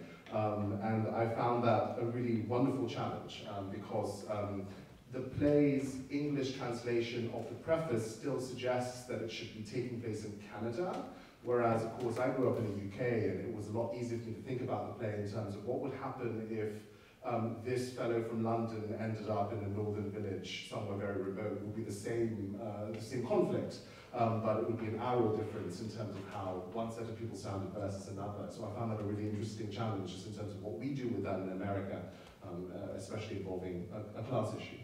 So in a way, a universal theme that you could detect that transcends even the Americas, it's also European. But Ed, um, since uh, we but what, did- what, what, how did how did it feel for you? What did you think about the text? How did it go? Oh, it was lovely. Um, yeah, there's. Uh, I worked on the second piece, and even from the excerpt, you got a taste of the variety of characters and voices in the play. Featured uh, in the um, preface of the play is a list of all the characters played by, um, at minimum, six actors. It prescribes, uh, but there's perhaps over 30 different um, uh, people and cartoons and students and, and, and it's, it's a really sort of beautiful um, chamber piece of, of voices as, as I heard it. So we opted to do it on microphone to uh, hopefully provide some of that uh, podcast-like intimacy. And uh, yeah, uh, blessed with a really great group of actors. But um, you know, new plays uh, with adventurous uh, structural components is sort of my bread and butter, and, and it, it, it just felt totally uh, akin to, to my daily work here. Thank you. Thank you. Uh, Tina, you just were here at the Prelude Festival, and you, uh, next to your work as a writer, also are a part of creating plays, thinking about plays, structure, finding it is. How, how, how did you react? Um, I think that um, perhaps being a writer myself of plays, I went at the play at the level of the word and almost the syllable and what it would sound like for that to come out of their mouths with almost nothing else put on it. Because as it was, it was very direct and poetic and even raw in its writing and topics. So I wanted to really be pared back from that. And then when in your initial question of how maybe it felt different or from Quebec or something, I, they're at the level of word from like the title Yukonstyle to like the cryptic like Whitehorse. I don't know if Robert Picton is a real person. I see. yeah. So there was like things that felt to me like other, and then the treatment of the native. Like I, I didn't do much larger research of it because I wanted to just take it exactly what I'd been handed as a document to um, then have said out loud by other humans. But um, there were like little cute, those little clues tucked in it that felt of another place to me. And even though it was a um, short piece of, text, it felt very evocative of something that I didn't quite know. So just wanted to really straightforwardly, in this uh, um, amount of time, which isn't a lot to work on it, hear it as sculpturally and as simply as possible and see it that way. So it was a message from a world we don't know enough about, but it, in its strangeness, it had some familiarity, but also um, it dealt with things perhaps an American, North American writer would, you know, uh, in the U- U.S. might uh, work differently. Just another follow-up question: Could you see, maybe each for you, or maybe the other one you saw, could that work? Be, could that work? Would there be a festival of Quebecois plays where people come and see that? Would people go? The New York audience come? Just as an honest question, what do you? Yes. Yeah, I think definitely. I mean, I think given, I mean, they're great. It's like any piece of writing or art's going to be interesting to someone. I think if you gave it context around it and of a place, I mean, to me, it was really interesting to think of these plays coming from a city that I visited, but still feels it's fascinating. I mean, I think art from anywhere that's given, codified and given some specificity is usually very interesting to people, least some.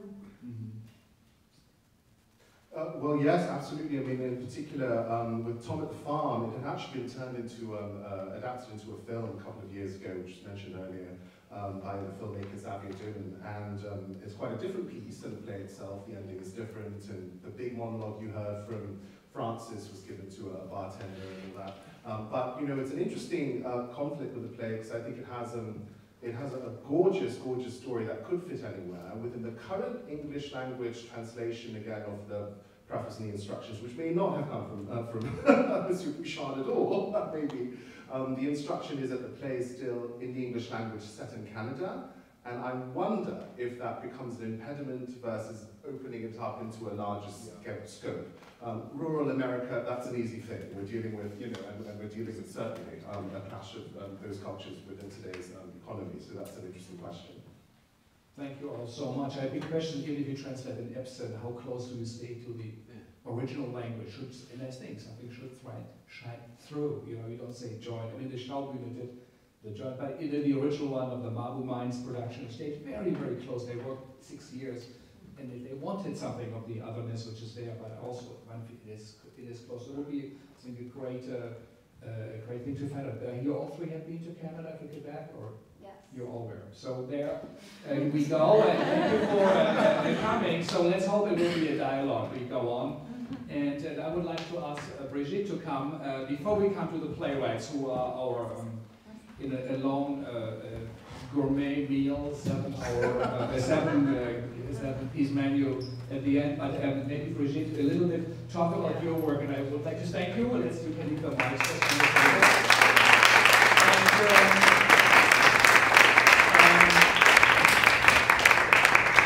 So just, uh, it's a small contribution, but we felt you should also know about it. And Brigitte, as you have seen perhaps in their bios, and she's an actor, she's a director, very successful on film. And um, she is here for uh, six months to uh, work in the city uh, of New York to explore her work. She's a very generous friend. And also she has a new idea, uh, not a new idea, but adapting uh, uh, uh, contemporary technology. I think it was Rancière who said artists have to anticipate the future. They have, actually, artists are a step ahead of imagining a future and creating a sensible environment, a sensorium where we can experience what's about to come. So she's said one of her, uh, next to your work, which you might also talk about, one of the things she does, she works in 360 video projections in domes, but says that's uh, nothing really uh, uh, new, it's all playwriting for me. So uh, tell us a little bit about your work. Um, before we then, your colleagues will join us, but what are you doing and uh, what does that fit in the Quebecois theater scene? Um, well, we like to do hybrid, that is what that's the word, right?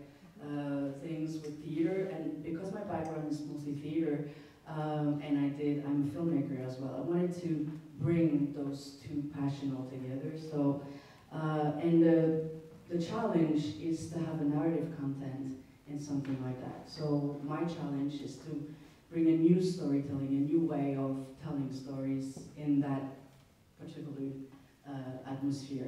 So it's actually a film, a real film, uh, shooting in 360. Explain a little bit 360. Well, she asked if we, could- if it's right, uh, it's kind of a dome. I said, I mean, it's, transition times are very small, we can't really do it, but te- tell us a little bit. So you have a dome, a dome like a planetarium, for example. So you have a dome, everybody sits inside that. So the film is actually all around you.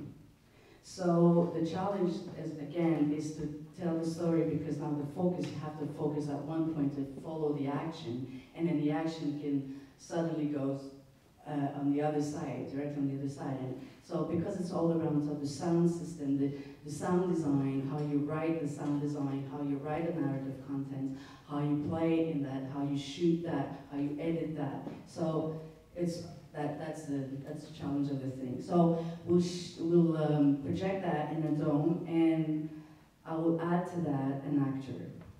So it will Do you give have dome theaters in Yes, we Canada? have- You just yeah, we have the go from one city to another and sh- show a dome Yeah, theater. well, we had a SAT, la, la SAT in Montreal, which is a big dome uh, who uh, offered uh, different kinds of, of, uh, of experimentations. We have planetarium, and actually there's, uh, I think, 300 planetarium or drone around, you know, around the world. So maybe, maybe, maybe more than that.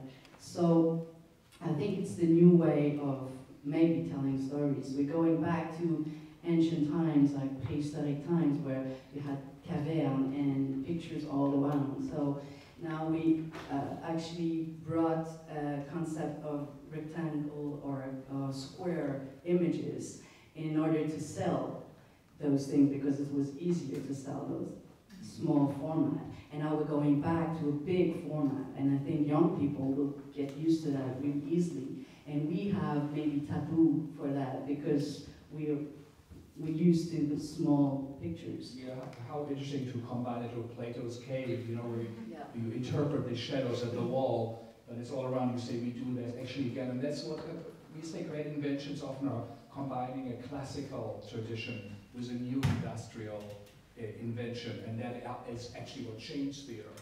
Um, I don't know, did you prepare something, Brad? Yeah, Uh, I'm a um, bit shy to show because I'm editing right now, so it's not, and you have You're to. preparing a du Soleil show, is that true? It's done. It's It's now on tour. It's now on tour right Yeah, now. uh, amazing. So, um, Yeah. So this is an excerpt of, of it. So imagine that you have this image put all around you and on top of you.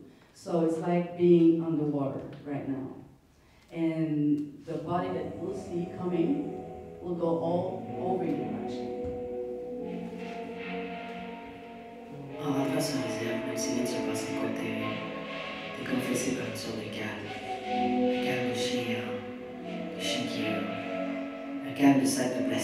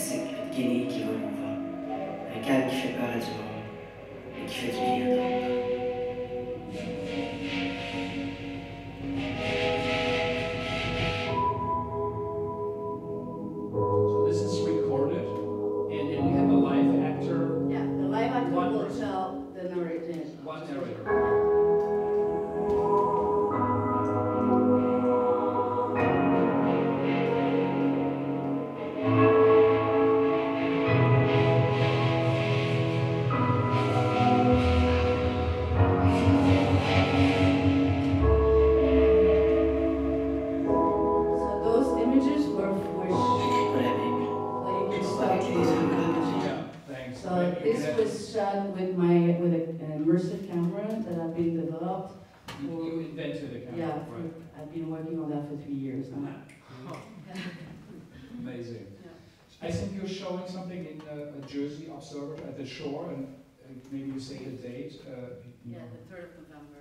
3rd of November, a preview of that work. That's yeah. In, in the town is, uh, which one was it? Toms River, Ocean County College. Ocean County, Toms River, was probably with a car an hour and a half, would be my guess. Yeah, about. So um, if, if you want to see a little piece of the future of, of a theater, that will be. Maybe I will ask uh, uh, um, Sarah and Michael and David uh, to join us, come uh, up here, and again a big applause for them and for their work.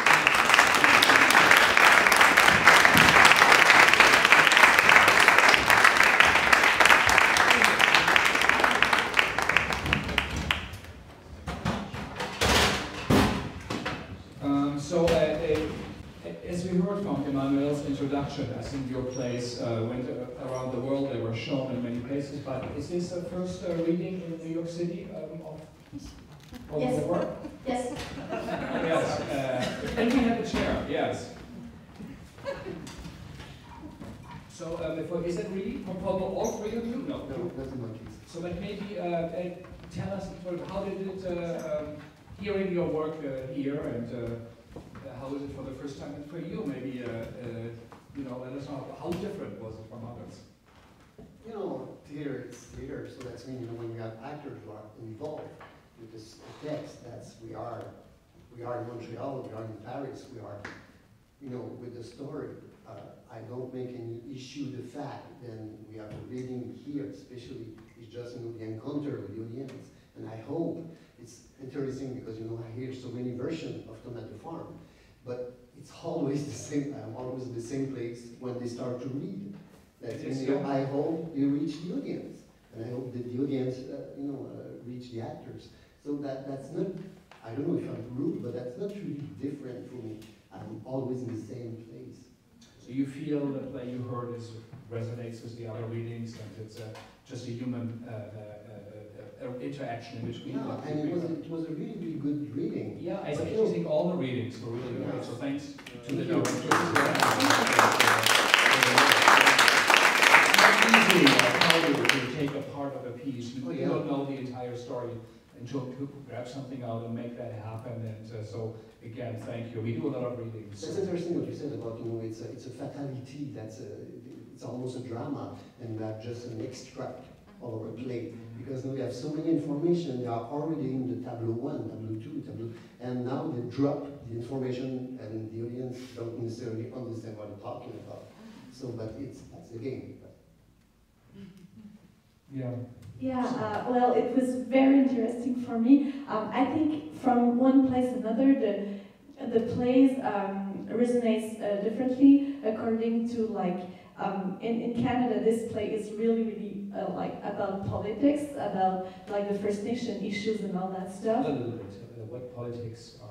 Well, uh, it's about uh, the, the status of the First Nation and the, the problems they are uh, facing um, with, uh, well, ra- ra- issues of racism. And uh, they went to um, residential school and they've been, um, I don't know how to say it, but oppressed and, uh, and they have many, many problems now uh, because of that. And so in Canada, this plays, um, especially in, in it's been uh, produced in Toronto, for example. And uh, in my point of view, it is the like as you said, like the, the poetics of the play, like takes most of the place because I, I wrote it from my my Quebec point of view, which is really far from Yukon, and, and I'm francophone, and these are Anglophones. But when when it's it's staged in Toronto, for example, it's really really uh, political, like the First Nation issues. And when I arrived here and I, I saw your work, I, I like the fact that it's it's uh, it's really removed from these uh, these uh, political issues, and it and it, becomes. Um, at this first state of uh, poetic material, so yeah, so it depends on, and, and the play has been produced to Europe as well, and uh, in, in Germany and in Austria and in France and in Belgium. Yeah, and so the, the, the, the First Nation issues resonates really differently in, in Germany. Of course, they're not, they're, they're not, they, no, they don't have nothing to do with that, well, they- they're not implied in that, in that, in that process. So, so yeah, it's really, for me, that play, and, and that play is so, uh, it's about Yukon. It's about, it's really geographically, it's, it's the play uh, I wrote, which is more, the more geographically um, precise. I mean, it, it happens in the Yukon and Whitehorse and Robert Picton, and, and, and uh, but it, it's very interesting that according to the place that the place produced, it, it, it's, it's sometimes that geographical thing is completely removed of it, and it becomes just um, the idea of a place of somewhere else or an imaginary place. Sorry, the more I get involved, the more my English is happening. One could still feel that there was a generation, you know, that has an extreme frustration, I suppose, Yeah. Um, this status quo and uh, tries to find ways to deal with it in some better or not so good ways. But let's go on to, to Michael, if I say it right now. David. David, David. Um, No problem. yeah, well, I got confused because the, the, the uh, photos and the names, so I have to coordinate it better next time. But, uh, Yes, yes, and I apologize. So, um, David, um, since you are here the first time, it must be the first reading. Uh, Yes, it is. And uh, you have seen uh, movies a little of, of the city, but still, how does it feel to hear the, your work and, uh, um, and laughs or not? And, It, it feels great to hear the work and it feels great to be here. What I really appreciate about this experience here is it's also my first time working, working with uh, this new translator, with Chantal Bilodeau, which is here. Thank you, by the way, very much. And it's always fun because we, we, we've been emailing and everything, but a certain, like the rhythm of it in English is, I can't really predict myself. So just to be here and hear it, the musicality of it, as opposed to the French one, which is, is, is the, the challenge is making it the same, knowing that it never will be the same. The differenceness of it is interesting too. So to be able to hear it, I think is very interesting. Um, what I could also maybe say is that um, what, um, although I have, it's a spoiler alert, people, okay? it's a big spoiler alert. Because now, we, when we hear an extract, you never get the scale of it, and, and voluntarily, the beginning of, of the 214 is a very confusing, very um, multi-character at the same time. And the more the play goes, um, the more you realize what happens.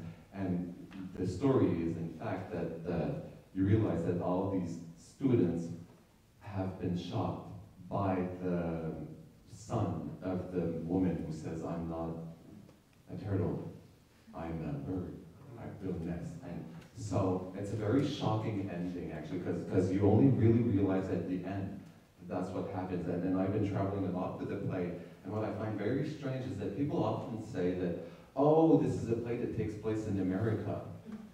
And I'm like, well, actually, no.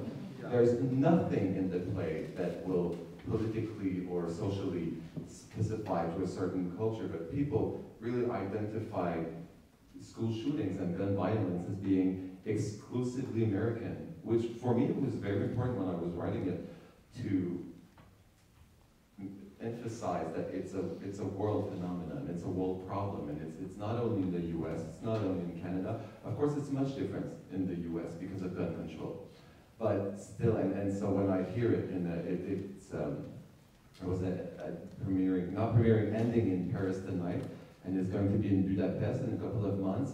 And so when I read in the resume is that, oh, it's an American problem, I'm like, mm, it's not. it's a much bigger problem. Yeah, so I, all three plays, I think, uh, I think they're poetic, as in the beautiful flow, which is part of the translation, but also they have, do have, I think, universal themes, as you point out. After all, we're all humans, we have brains, we hear, listen, but still, I think it also has a, a lightness to it, a, a depth, and it doesn't reveal right away what we think, like you go to eat and you have to take off the lid to see what's inside. So I think there are some, you know, some small dramaturgical uh, uh, tricks in there which I admire as part of the craft. What messages from the New York theater scene come over to uh, Quebec? Who do you follow? Who do you hear? Who do you know who is part of your generation or yours? What, what, what do you hear? What do you know? Who do you follow? Does anyone, can I go? um, it's, it's, I think it's, my answer will be very sad, I'm sorry. Um, it's very hard to not hear only about um, the big stuff, only about the musicals, or only about, you know, it's kind of, if you really want to go beside, uh, further than that, you have to make it your own mission. And plus, of course, we have to address the language um, situation. Let's not call it a problem. Let's call it, a situation. But we are like 1% of, of all of North America that we work and live in French, which is a very also um, both iso it's, it leads to a type of isolation, an unwanted isolation. But I studied at the National Theatre School of Canada, which is a bilingual school, and you feel it even there, like at the cafeteria, there's a French and English side. it's, it's terrible. So, but do you know contemporary playwrights? Is there some, some country or mind? Who, who do you play? Tony Kushner. Tony Kushner. Kushner.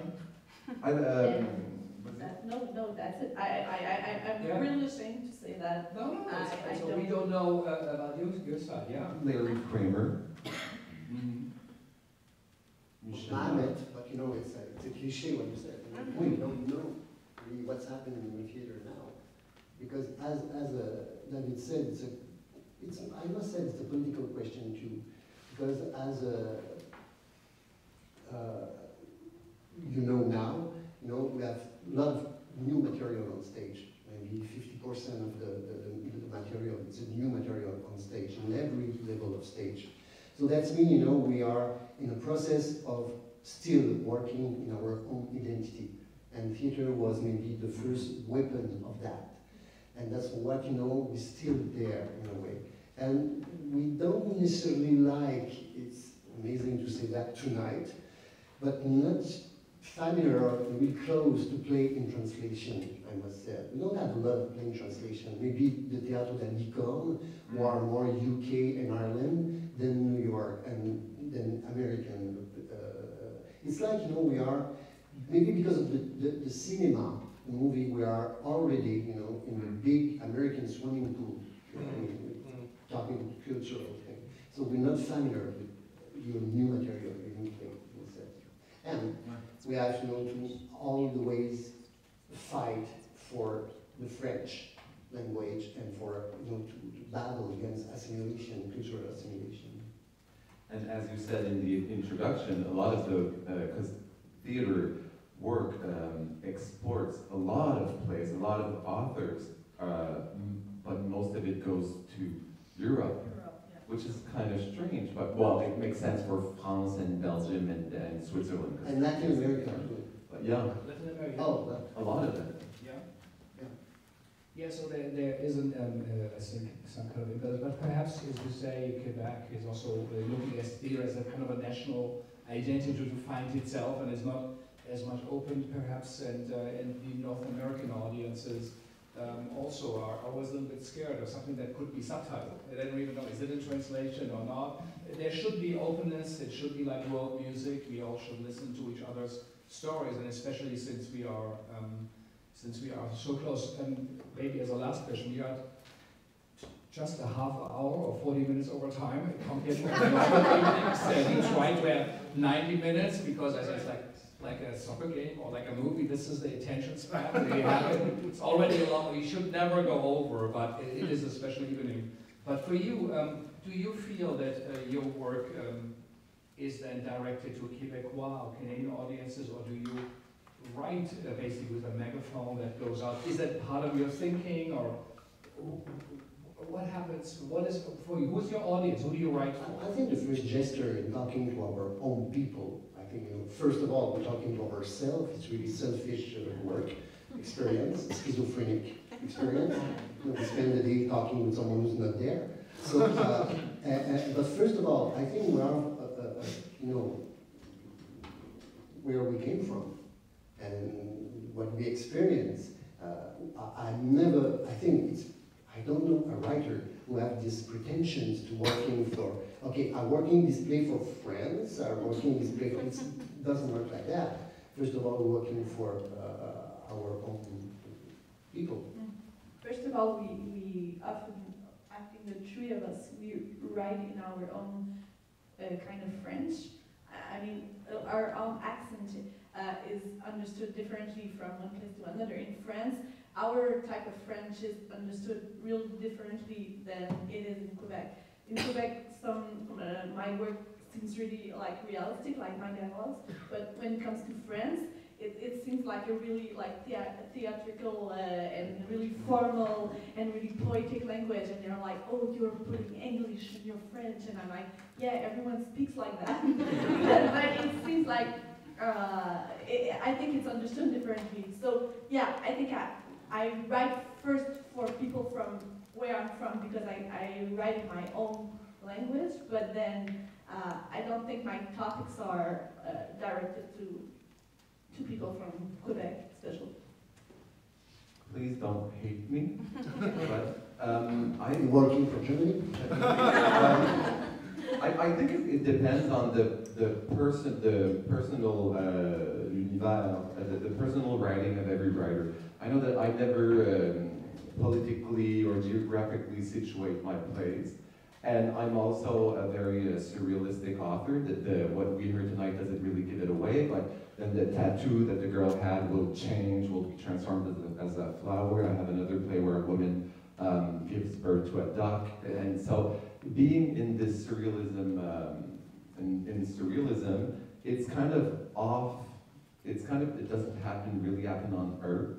So it opens up, I think, my writing to another, um, not dimension, but it, it, it's not as maybe Quebecois as, as most of, uh, some of your work can be. And a, a lot of my plays premiere uh, outside of Quebec before being premiered in Quebec because uh, there's also there's a money situation as uh, you've explained with which there are a lot of different cultures and I think of Germany or France have um, a way of producing theater much more rapidly than sometimes we do at home.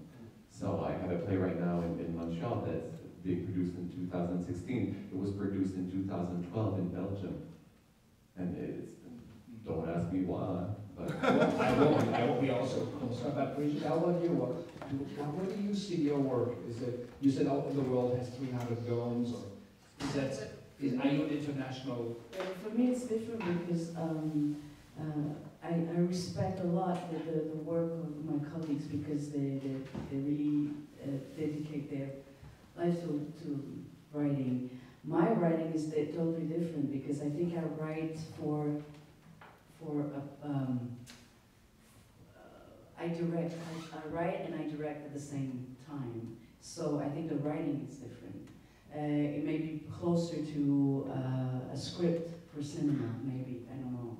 Um, and it's true that all the writings are different, even though it's the same language. Our way of writing is totally different.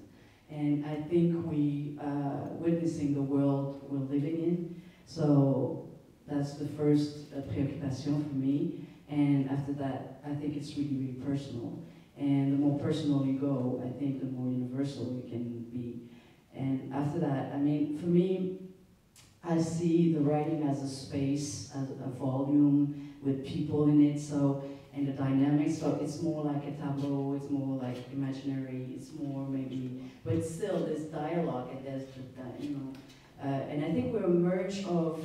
It's funny because a merge of American way of writing and French way of writing because like you were talking about David uh, Mamet, and I think we're close to Mamet because we're close to a situation, writing for a situation, object, uh, an objective, and that's the, the way we direct actors as well in Montreal, and it's really close to the way you act here and in America. So I think we have that in common, but in the same way, we uh, being brought up and, and reading French poetry, uh, French plays, and uh, so so we're something really in between 2 two continents. Yeah. hybrid form.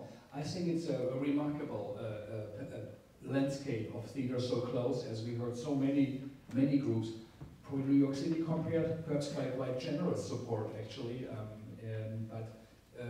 it is remarkable, I think, the idea that the Cirque du Soleil that comes from Canada, or the, the resurgence of uh, also of uh, performing out on the streets and circus companies, but also the, the high volume of, of writers and plays that come out of there is quite uh, remarkable and we really uh, should know more um, about it. We have Robert Lepage come in November who's also creating a new art center in Quebec City, um, not Montreal, which I thought, and it also hopefully will help that perhaps companies will tour from New York City over, Latina will go and perform there, or your place, things from there will come here.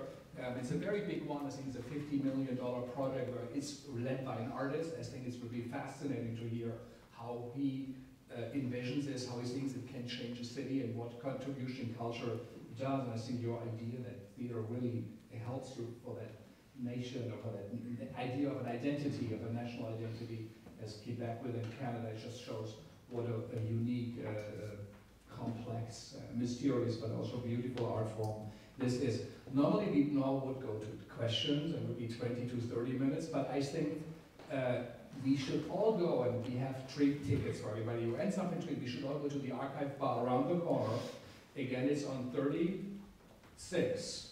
And you just go out to Fifth Avenue, make a right. It's between uh, Fifth Avenue and Madison. It's on on the uh, south side. Uh, says archive uh, bar, our little Borges reference. And um, so I hope to, to see you all there. I would really like to thank you. We need a good theater, but also we really need a good audience. And for you all to come and stay here and be part of it for the actors and director, really, really uh, thank you from the Segal Center, CEAD, and the, Délégation of uh, Québécois here in New York. And Frank, merci beaucoup. Well, uh, I wish we would have more. I'm sorry that we had a backlog, but we had to have three in one evening because we didn't have so many in the last decades. But really also, I would like to ask for a big applause and uh, thank you for the writers to come over here.